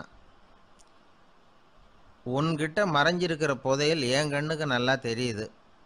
அது உனக்கு புரியல அதனால தான் அழுதுகிட்டு இருக்கிற அப்படின்னா என்னது புதையல் இருக்குதா? உங்கண்ணுக்கு கண்ணுக்கு தெரியுதா? அப்படின்னு கேட்டான். ஆமாம் எனக்கு தெரியுது. அந்த புதையலை நீ விற்கிறதுக்கு தயாராக இருக்கிறியா? அப்படின்னு கேட்டான் இவன். இதை கேட்டதும் அந்த இளைஞனுக்கு ரொம்ப ஆச்சரியமாக போச்சு. என்னது இப்படி கேட்குறானே அப்படின்னு. என்கிட்ட ஒரு காசு கூட இல்லையே. அப்படி இருக்கிறப்போ புதையல் எங்கேருந்து வந்தது? அப்படின்னா இந்த நேரத்தில் அந்த பிச்சைக்காரன் சிரித்தான் இப்படி தான் இந்த உலகத்தில் எல்லோரும் சொல்லிகிட்டு இருக்கிறாங்க. என்கிட்ட ஒன்றுமே இல்லை ஒன்றுமே இல்லைன்னு சொல்லி. ஆனால் அவங்கக்கிட்ட தான் புதையல் இருக்குது நீ வேணும்னா என் கூட வா. நம்ம நாட்டு அரசர்கிட்ட போவோம். உங்ககிட்ட இருக்கிற புதையலை அவர் நல்ல விலைக்கு எடுத்துக்குவார். அப்படின்னா அது எப்படி உனக்கு தெரியும்னா இதுக்கு முன்னாடியும் இது மாதிரி பல பேரை நான் வந்து ராஜா கிட்ட அழைச்சிட்டு போயிருக்கிறேன். அதனால தான் உன்னை பார்த்தேன் உன்னையும் கூப்பிடுறேன். நீ சரின்னு சொன்னால் உன்னை அழைச்சிட்டு போகிறேன் உங்ககிட்ட இருக்கிற புதையில அவர் நல்ல விலை கொடுத்து எடுத்துக்குவார். அப்படின்னு சொன்னான். இவன் இப்படி சொல்கிறதும் அந்த இளைஞனுக்கு ஒன்றுமே புரியல. இது என்னது இந்த ஆள் இப்படி சொல்லிகிட்டு இருக்கிறான்? நம்மக்கிட்ட என்ன இருக்குது? அதுவும் இல்லாமல் இவனே பிச்சை எடுத்து சாப்பிட்டுக்கிட்டு இருக்கிறான். இவன் போய் நம்மளை ராஜா கிட்ட அழைச்சிட்டு போகிறதா போகிறேங்கிறானே என்ன அப்படின்னு சொல்லி அவன் யோசனை பண்ணான். என்ன யோசிக்கிற? உனக்கு பணம் வேணும்னா என்னோட வா அப்படின்னா. இளைஞன் ஒரு முடிவுக்கு வந்தான். சரி இங்கேயே உட்காந்துக்கிட்டு இருக்கிறத விட அங்கேயாவது போய் பார்ப்போமே இங்கே அழுதுட்டு உட்காந்துருக்கிறதுல என்ன பிரயோஜனம்? ஏதோ கூப்பிட்றான் போய் பார்த்துட்டு வருவோமே அப்படின்னு சொல்லி அவன் கூட புறப்பட்டான். பிச்சைக்காரன் முன்னாடி போயிட்டே இருக்கிறான். இந்த இளைஞன் பின்னாடி நடந்து போயிட்டுருக்கான் ரெண்டு பேரும் அரண்மனையை நோக்கி போகிறாங்க பாதி வழி போயிருப்பாங்க. வழியில் அந்த பிச்சைக்காரன் சொன்னான் இதை பாரு முன்னாடியே சில விஷயங்களை நாம் பேசிக்க வேண்டியிருக்கு. சரியாக தெளிவாக முடிவு எடுத்துக்கிட்டு அதுக்கப்புறம் ராஜா கிட்ட போகணும். ஏன்னா அங்கே போய் அது முடியாது இது முடியாதுன்னு நாம் நமக்குள்ளே சண்டை போட்டுக்கிட்டு இருக்க முடியாது. ராஜாவுக்கு விலையை பற்றி கவலையே இல்லை. எவ்வளவு சொன்னாலும் நமக்கு பணம் கிடச்சிரும். ஆனால் அதுக்கப்புறம் நான் இதை விற்கிறதுக்கு தயாராக இல்லைன்னு சொல்லிடக்கூடாது. அதனால் வந்து புதையலை விற்கிறதா இல்லையாங்கிறத இங்கேயே தெளிவாக முடிவு செஞ்சுக்கணும். இல்லைன்னா ராஜா கிட்ட போய் அங்கே போய் குழப்பிக்கிட்டு இருக்க முடியாது அப்படின்னு சொன்னான். இளைஞனுக்கு ஒன்றுமே புரியல. என்ன சொல்கிற நீ? என்கிட்டயா புதையலா? எங்கே இருக்குது? அப்படின்னு சொல்லி குழம்பி போனான். இப்போ அந்த பிச்சைக்காரன் சொன்னான். இதை பாரு இப்போ உதாரணத்துக்கு உன்னுடைய கண்களை எடுத்துக்கோ. அதுக்கு நீ என்ன விலை கேட்டுற போகிற நான் வந்து அதுக்கு ராஜா கிட்டே இருந்து ஒரு 50000 ரூபா வாங்கி தர முடியும். உன்னுடைய இருதயத்தை கொடுக்குறியா? இருபது லட்சம் ரூபா வாங்கி தரேன். மூளையை கொடுக்குறியா? முப்பது லட்சம் வாங்கி தரேன். என்ன சொல்கிற அப்படின்னு சொல்லி இந்த பிச்சைக்காரன் பேசிக்கிட்டே போகிறான் இளைஞனுக்கு கோபம் வந்துட்டுது. என்ன உளர்ற? உனக்கு என்ன பைத்தியமா? கண்ணையும் மூளையையும் இருதயத்தையுமா விற்பாங்க. என்ன விலை கொடுத்தாலும் அதையெல்லாம் நான் விற்கிறதுக்கு தயாராக இல்லை. நான் விற்க மாட்டேன். அதை கொடுத்துட்டு நான் என்ன பண்ணுறது இப்படி நான் மட்டும் இல்லை யாருமே இதை விற்கிறதுக்கு தயாராக இருக்க மாட்டாங்க அப்படின்னு சொன்னான் அந்த இளைஞன். இவன் இப்படி சொன்னதும் அந்த பிச்சைக்காரன் வாய் விட்டு சிரிக்க ஆரம்பிச்சுட்டான். இப்போ பைத்தியமானது நானா நீயா? லட்சக்கணக்கான கோடிக்கணக்கான ரூபாய் பொறுமானம் உள்ள பொருள்களை உங்ககிட்டயே வச்சுக்கிட்டு விற்க முடியாதுன்னு சொல்கிற நீ தான் ஏழை. என்கிட்ட ஒன்றுமே இல்லைன்னு மரத்தடியில் உட்காந்து அழுதுகிட்டு இருக்கிறியே அப்படின்னு சொன்னான். இன்றைக்கி பார்த்தீங்கன்னா பல பேர் தன்கிட்ட புதைஞ்சிருக்கிற ஆற்றலை புரிஞ்சிக்க முடியாமல் அவதிப்பட்டுக்கிட்டு இருக்கிறாங்க. நம்மக்கிட்ட என்ன இருக்குங்கிறது அவங்களுக்கு தெரியறதில்ல. அதனால தான் என்கிட்ட ஒன்றுமே இல்லைன்னு சொல்லி அழுதுகிட்டு இருக்கிறாங்க. இதை விளங்க வைக்கிறதுக்கு பெரியவங்க சொல்கிற கதை இது. நம்மக்கிட்ட இருக்கிற புதையலை நாம் தான் தோண்டி எடுக்கணும். உண்மையான புதையலுங்கிறது உள்ளே இருக்குது ஆனால் அதை வெளியில் தேடுற ஆசாமிகள் தான் அதிகம். சராசரி மனித இயல்பு அப்படி. நம்மக்கிட்ட விலை மதிக்க முடியாத பகுத்தறிவு இருக்குது அதை வச்சுக்கிட்டு வாழ்க்கையில் முன்னேறத்துக்கு முயற்சி பண்ணணும். என்கிட்ட ஒன்றுமே இல்லைன்னு நினச்சி ஓரமாக உட்காந்துடக்கூடாது முயற்சி செஞ்சால் முடியாத காரியம் எதுவுமே இல்லை. ஒரு ரயில்வே ஸ்டேஷன் பக்கம் வெளியில் ஒரு டாக்ஸி நின்றுக்கிட்டு இருந்தது. அந்த பக்கமாக வந்த ஒருத்தர் டாக்ஸி டிரைவரை பார்த்து சொன்னார் ஐயா உங்கள் வண்டியில் பின் சீட்டில் ஒரு மணி பரிசு கிடக்கு. யாரோ மறந்து விட்டுட்டு போயிருக்கிறாங்க. அப்படின்னாரு. இல்லை இல்லை அது காலி பரிசு தான். நான் தான் அதை அங்கே போட்டு வச்சுருக்கிறேன்னார் டிரைவர். ஏன்னு கேட்டார் அவர். இதுக்கு டிரைவர் சொன்னார் அதை பார்க்குற யாராவது அதை எடுத்துக்கலாம்ங்கிற ஆசையிலையாவது சவாரிக்கு வருவாங்க. அதுக்காக தான் போட்டு வச்சுருக்கிறேன் அப்படின்னார். வாங்க மாட்டேங்கிறான் சார் அப்படின்னு சொல்கிறது உண்டு. அது எப்படி காதில் வாங்கிக்காமல் இருக்க முடியும்? காதுங்கிறது எப்பவும் திறந்தே இருக்கக்கூடிய ஒன்று தானே சில பேர் பேசிக்கிட்டே இருப்பாங்க. நாமும் கேட்டுக்கிட்டே தான் இருப்போம். அவர் என்ன சொன்னார்? திருப்பி சொல்லு அப்படின்னு சொன்னால் சொல்ல தெரியாது. காது சரியாக கேட்டாலும் நாம் பேசுகிறத மற்றவங்க சரியாக கேட்குறாங்களா அப்படிங்கிறது சந்தேகம்தான். இந்த சந்தர்ப்பத்தில் ஒரு உண்மையை நாம் புரிஞ்சுக்கணும். அதாவது என்னென்னா கேட்பதுங்கிறது வேற கவனிக்கிறதுங்கிறது வேறு. அதாவது கேட்கறதுன்னா அது ஹியரிங் கவனிக்கிறது அப்படின்னா அது லிசனிங் கேட்கறதுங்கிறது தன்னிச்சையாக நடக்கக்கூடிய ஒரு செயல். இப்போது ஒரு சாலையில் நடந்து போயிட்டுருக்குறோம் எவ்வளவோ சத்தம் நம்ம காதில் வந்து விழுந்துக்கிட்டு இருக்கு. கார் போகிற சத்தம் கேட்குது பறவை ஒரு மரத்துலேருந்து கத்துது அந்த சத்தம் கேட்குது இப்படி நிறைய வந்து காதில் விழுந்துக்கிட்டு இருக்கு. ஆனால் கவனிக்கிறதுங்கிறது எப்படின்னா நம்ம முழு மனசை செலுத்தி உன்னிப்பாக கேட்கறது. எத்தனையோ சத்தத்துக்கு நடுவில் தன்னுடைய குழந்தை அழற சத்தத்தை தாய் தெரிஞ்சுக்க முடியுது இல்லையா? அது மாதிரி. விவரம் தெரிஞ்சவங்கலாம் என்ன சொல்கிறாங்கன்னா கவனித்தல் அதாவது லிசனிங் அப்படிங்கிற செயலில் மூன்று அம்சங்கள் இருக்கிறதாக சொல்கிறாங்க அது என்ன மூன்று அம்சங்கள் அப்படின்னா முதல்ல காதால் கேட்குறது இது முதல் அம்சம். ரெண்டாவது என்னென்னா கேட்டதை புரிஞ்சுக்கிறது. மூணாவது என்னென்னா என்ன புரிஞ்சுக்கிட்டோங்கிறத தெரிவிக்கிறது. ஃபீட்பேக் அப்படின்னு சொல்கிறமே அது. ஒரு ஆசிரியர் வகுப்பில் பாடம் நடத்திக்கிட்டு இருக்கிறார். வெறுமனே கேட்குற குழந்தை ஒரு காதால் வாங்கி இன்னொரு காதால் விட்டுடும். அதாவது கேட்குற குழந்தை அப்படி செய்யும். ஆனால் கவனிக்கிற குழந்தை கேட்டதை புரிஞ்சுக்கும். என்ன புரிஞ்சுக்கிட்டேன்னு கேட்டால் பதில் சொல்லும். இதுதான் கேட்குறதுக்கும் கவனிக்கிறதுக்கும் உள்ள வித்தியாசம். ஒரு புள்ளி விவர கணக்கு என்ன சொல்லுது தெரியுமா? ஒரு மனிதன் எழுதுறது மூலமாக ஆறு சதவீதம் அறிவை பெருக்கிக்கிறானாம் எழுதுறது மூலமாக படிக்கிறது மூலமாக பத்தொம்போது சதவீதம் அறிவை பெருக்கிக்கிறானா? பேசுறது மூலமாக முப்பது சதவீதம் அறிவை பெருக்கி கொள்ளுகிறான் அப்படின்னு சொல்கிறாங்க ஆனால் பாருங்கள் கவனிக்கிறது மூலமாக நாற்பத்தைந்து சதவீதம் அறிவை பெருக்கி கொள்ளுகிறான் அப்படிங்கிறது புள்ளி விவரம். அதனால் வந்து கற்றலின் கேட்டல் நன்று அப்படின்னு சொல்கிறாங்க இல்லையா? அது இதுதான். அதனால் கவனிக்கிறது மூலமாக அதிக அறிவை நாம் வந்து பெருக்கிக் கொள்ள முடியும். கேள்வி ஞானம் தான் ரொம்ப சிறந்தது அப்படிங்கிறார் வள்ளுவர். அதாவது கவனித்து கேட்கணும். அதுதான் முக்கியம். மற்றவங்க சொல்கிறத நல்லா கவனிக்க முடியாதபடிக்கு நாமே சில தடைகளை ஏற்படுத்திக்கிறோம். அல்லது நம்ம அறியாமலே அப்படி ஒரு தடை உண்டாயிடுது. அந்த தடைகளை தாண்டணும் அல்லது தகர்த்து எரியணும் அப்படிங்கிறது பெரியவர்கள் சொல்லுகிற யோசனை. அது என்ன தடைகள் அப்படின்னா நமக்கு தெரியாத இவர் என்ன சொல்லிட போகிறார் அப்படிங்கிற நினப்பு. இது ஒரு தடை. சொல்லி முடிக்கிறதுக்கு முன்னாடியே குறுக்க பேசுறது மனசு அங்கேயும் இங்கேயும் அலையிறது இதெல்லாம் தான் தடைகள். ஆசிரியர் பாடம் நடத்துகிறார் அப்படின்னா மாணவர்கள் அக்கறையாக கவனிக்கணும். அப்போ தான் பரீட்சையில் பாஸ் ஆக முடியும். வீட்டுக்குள்ள கணவன் சொல்கிறத மனைவி கவனித்து கேட்கணும். மனைவி சொல்கிறத கணவன் கவனித்து கேட்கணும். இல்லைன்னா குழப்பமாயிடும். ஒரு அம்மா கோயிலுக்கு போனாங்க. சேலையில் ஒரு முடிச்சு போட்டிருந்தாங்க. எதுக்கு சேலையில் முடிச்சு போட்டு வச்சுருக்குறீங்க? அப்படின்னு கேட்டாங்க. எங்கள் வீட்டுக்காரர் ஒரு கடிதத்தை மறக்காமல் தபால் போட்டியில் போட்டுடணும்னு சொன்னார். ஞாபகத்துக்காக முடிச்சு போட்டு வச்சுருக்கிறேன் அப்படின்னாங்க. கடிதத்தை பெட்டியில் போட்டுவிட்டிங்களா அப்படின்னு கேட்டாங்க. அது எப்படிங்க முடியும்? அவர் கடிதத்தை என்கிட்ட கொடுக்க மறந்துட்டாரே அப்படின்னாங்களாம். அதனால் மறக்கக்கூடாதுன்னு நினச்சிக்கிட்டே மறந்து விடுறது. இப்படி ஒரு வாழ்க்கை. அதனால் வாழ்க்கையில் நமக்கு இருக்கிறது செவி செவிச்செல்வம் ரொம்ப முக்கியமானது. நிறைய கேட்கணும். சொல்கிறத விட கேட்கணும். கேட்கிறத விட முக்கியம் கவனிக்கிறது. அப்படி கவனிக்கிறது மூலமாக நம்முடைய வாழ்க்கையில் வெற்றி பெறணும். கழுதிய நண்பர்கள் எங்கே போனாலும் சேர்ந்தே போவாங்க வருவாங்க.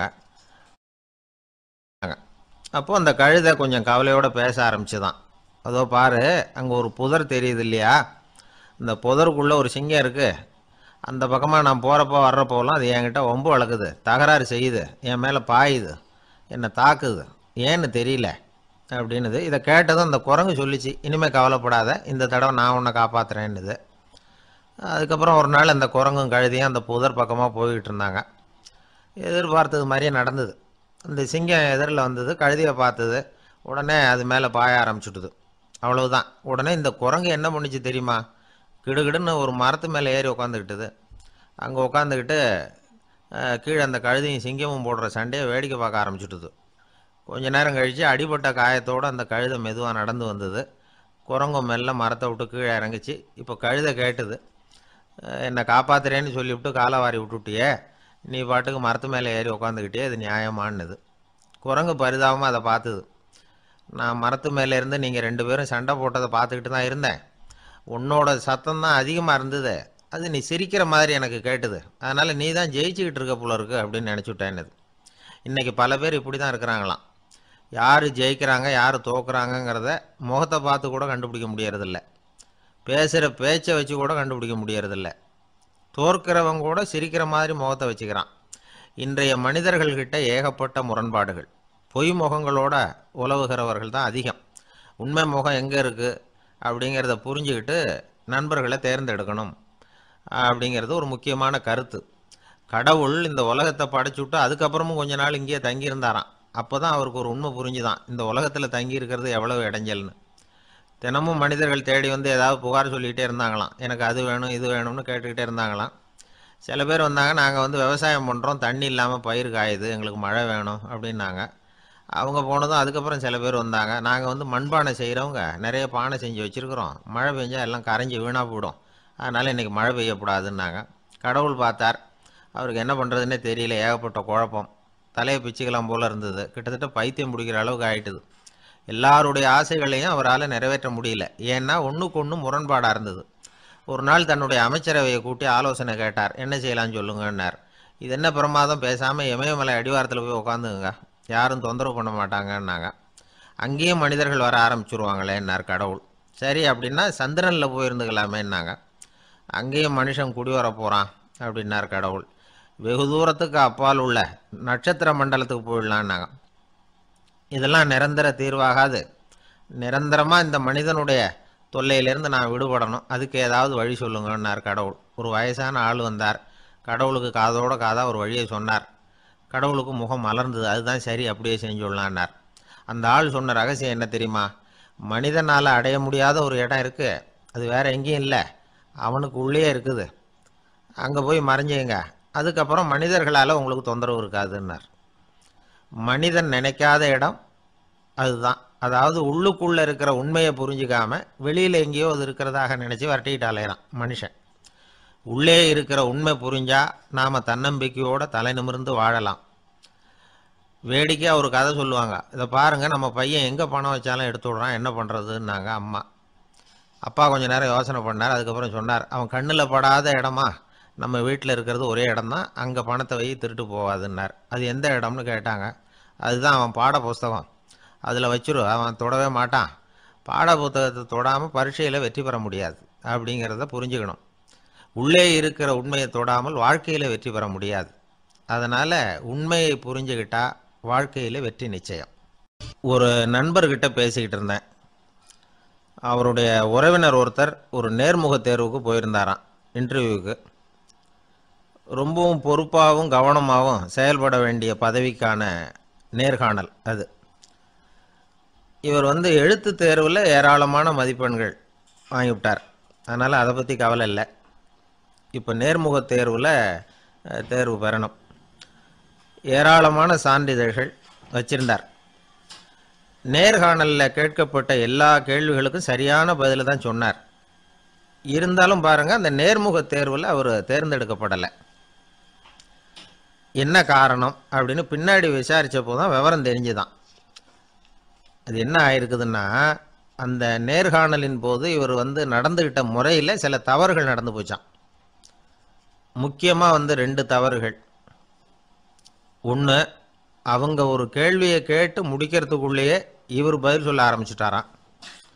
ரெண்டாவது என்னென்னா இவர் நாற்காலியில் தாராளமாக இயல்பாக சாஞ்சி உட்காராம நாற்காலி முனையில் உட்காந்துருந்தாராம் இந்த ரெண்டு விதமான செயல்பாடுகளும் இவர் வந்து அவசரப்படுறவர் பதற்றப்படுறவர் அப்படிங்கிறதுக்கான அடையாளங்கள். அதாவது கேள்வியை கேட்டு முடிக்கிறதுக்குள்ளேயே முந்திக்கிட்டு பதில் சொல்கிறது ரெண்டாவது நாற்காலியில் இயல்பாக தாராளமாக உட்காராம நாற்காலி முனையில் உட்கார்றது. பார்க்க போகிற வேலைக்கு அவசரம் பதற்றம் இது ரெண்டும் இருக்கப்படாதான். அதனால் மார்க் இருந்தும் சர்டிஃபிகேட் இருந்தும் அந்த வேலை வாய்ப்பு அவருக்கு கிடைக்கல. வேலை கொடுக்குறவங்க நம்மக்கிட்ட இருந்து என்ன தான் எதிர்பார்க்குறாங்க? இதை தெரிஞ்சு வச்சுக்கிறது நல்லது. முதல்ல மற்றவர்களுடன் தொடர்பு கொள்ளும் திறமை. அதாவது எபிலிட்டி டு கம்யூனிகேட் நீங்கள் நினைக்கிறத அழகாக தொகுத்து வகைப்படுத்தி சொல்ல தெரியுதான்னு பார்ப்பாங்க. உங்கள் திட்டங்களை அடுத்தவங்க ஏற்றுக்கொள்ளக்கூடிய விதத்தில் வெளிப்படுத்துறதுக்கு உங்களால் முடியுதான்னு பார்ப்பாங்க. இதுக்கு என்ன செய்கிறது குழப்பம் இல்லாமல் சிந்திக்கணும். குழப்பம் இல்லாமல் பேசணும். ரெண்டாவது விஷயம் என்னென்னா புத்திசாலித்தனம் அதாவது இன்டெலிஜென்ஸ் ஏற்றுக்க போகிற வேலையை நல்ல விதமாக செய்ய முடியுமா உங்களால்? அதை எந்தெந்த வழியில் செய்யலாம் அப்படிங்கிறத உங்களால் தீர்மானிக்க முடியுமா? அந்த வேலைக்கான புது புது யோசனைகளை உங்களால் சொல்ல முடியுமா அப்படின்னு பார்ப்பாங்க. இது இன்டெலிஜென்ஸ் மூணாவது தன்னம்பிக்கை அதாவது செல்ஃப் கான்ஃபிடென்ஸ் உங்களுக்கு அது உண்டா அப்படிங்கிறத கவனிப்பாங்க. எந்த சூழ்நிலையையும் சமாளிக்கணும். எப்படிப்பட்ட மனிதர்களையும் சமாளிக்கிற தைரியம் வேணும். அடுத்தவங்களை நமக்கு சாதகமாக திருப்பக்கூடிய தன்னம்பிக்கை வேணும். நாலாவது பொறுப்புகளை முன்வந்து ஏற்றுக்கொள்ளுதல். வில்லிங்னஸ் டு அக்செப்ட் ரெஸ்பான்சிபிலிட்டி பொறுப்புகள்லேருந்து நழுவி போக ஆசைப்படாமல் செஞ்சு முடிக்கணும். அஞ்சாவது வந்து முன் வருதல் இனிஷியேட்டிவ் வேலையோட முக்கியத்துவம் உணர்ந்து அதை ஏற்றுக்கிட்டு தகுந்த நடவடிக்கைகளை தயங்காமல் எடுக்கிறதுக்கு முன் வரணும். ஆறாவது என்னன்னு கேட்டிங்கன்னா தலைமைத்துவம் லீடர்ஷிப் நாலு பேருக்கு தலைமை தாங்கி நல்ல விதத்தில் நடந்துக்க தெரியுதா? ஏழாவது கற்பனை திறன் இமேஜினேஷன் சில பிரச்சனைகள் வரக்கூடும் அப்படின்னு முன்கூட்டியே யூகிச்சு அதுக்கு தகுந்த மாதிரி நடவடிக்கை எடுக்கிற திறமை உண்டா? அப்படிங்கிறத பார்ப்பாங்க எட்டாவது என்னென்னா வளைந்து கொடுத்தல் ஃப்ளெக்சிபிலிட்டி சூழ்நிலைக்கு தகுந்த மாதிரி மாற்றங்களுக்கு தகுந்த மாதிரி அனுசரித்து நடந்துக்கிறதுக்கு தெரியுதா அவங்களுக்கு அப்படிங்கிறத கவனிப்பாங்க. அடுத்தது திறமைகளை வெளிக்கொணரும் திறமை. இன்டர்பர்சனல் ஸ்கில்ஸ் அடுத்தவங்க கிட்ட இருக்கிற திறமையை கண்டுபிடிச்சி அதை நல்ல விதத்தில் ஊக்கப்படுத்தி பயன்படுத்த தெரியுதா? அப்படின்னு பார்ப்பாங்க. ஆறாவது சுய அறிவு. செல்ஃப் நாலெட்ஜ் அடுத்தவங்க நம்மளை பற்றி என்ன நினைக்கிறாங்க அப்படிங்கிறத நம்மளால் புரிஞ்சிக்க முடியுதாங்கிறது முக்கியம். அடுத்தது போட்டி மனப்பான்மை காம்படிட்டிவ்னஸ் அடுத்தவங்களை ஒப்பிட்டு பார்த்து அதை விட ஒரு படி மேலே வரணுங்கிற குணம் வேணும். இதுக்கு அடுத்தது என்னென்னா குறிக்கோளை வெல்லுதல் கோல் அச்சீவ்மெண்ட் குறிக்கோளை சவாலாக எடுத்துக்கிட்டு அதை அடையணும். அப்புறம் வேறுபட்ட திறமைகள் ஒகேஷனல் ஸ்கில்ஸ் பதவிக்கு வேண்டிய திறமைகள் தவிர மற்ற திறமைகள் எதுவும் உண்டாங்கிறது முக்கியம். நமக்கு வேலை கொடுக்கணும்னு நினைக்கிறவங்க நம்மக்கிட்டே இருந்து இவ்வளவும் எதிர்பார்ப்பாங்க. அதுக்கு தகுந்த மாதிரி நம்மளை நாமே தயார்படுத்திக்கணும். எனக்கு வேண்டப்பட்ட ஒருத்தர் ஒரு இன்டர்வியூவுக்கு போயிட்டு வந்தார். நேர்காணலுக்கு. எப்படி இருந்தது இன்டர்வியூன்னு விசாரித்தேன் நான் போனேன். அவர் கேட்ட எல்லா கேள்விக்கும் அவர் எதிர்பார்த்தது மாதிரியே எல்லா பதிலையும் சொன்னேன். கடைசியாக நான் எதிர்பார்க்காத ஒரு தகவலை அவர் சொன்னார். அப்படின்னார். என்னன்னு கேட்டேன். அவரும் என்ன மாதிரியே இன்டர்வியூக்கு வந்தவர் தானா? சும்மா என்ன கேள்வி கேட்டுக்கிட்டு உட்காந்துருந்தாரா அப்படின்னார். அதனால் ஒரு நேர்காணலுக்கு போகிறதுக்கு முன்னாடி என்ன எதிர்பார்க்குறாங்க? அப்படிங்கிறத தெரிஞ்சுக்கிட்டு போனால் வெற்றி நிச்சயம்.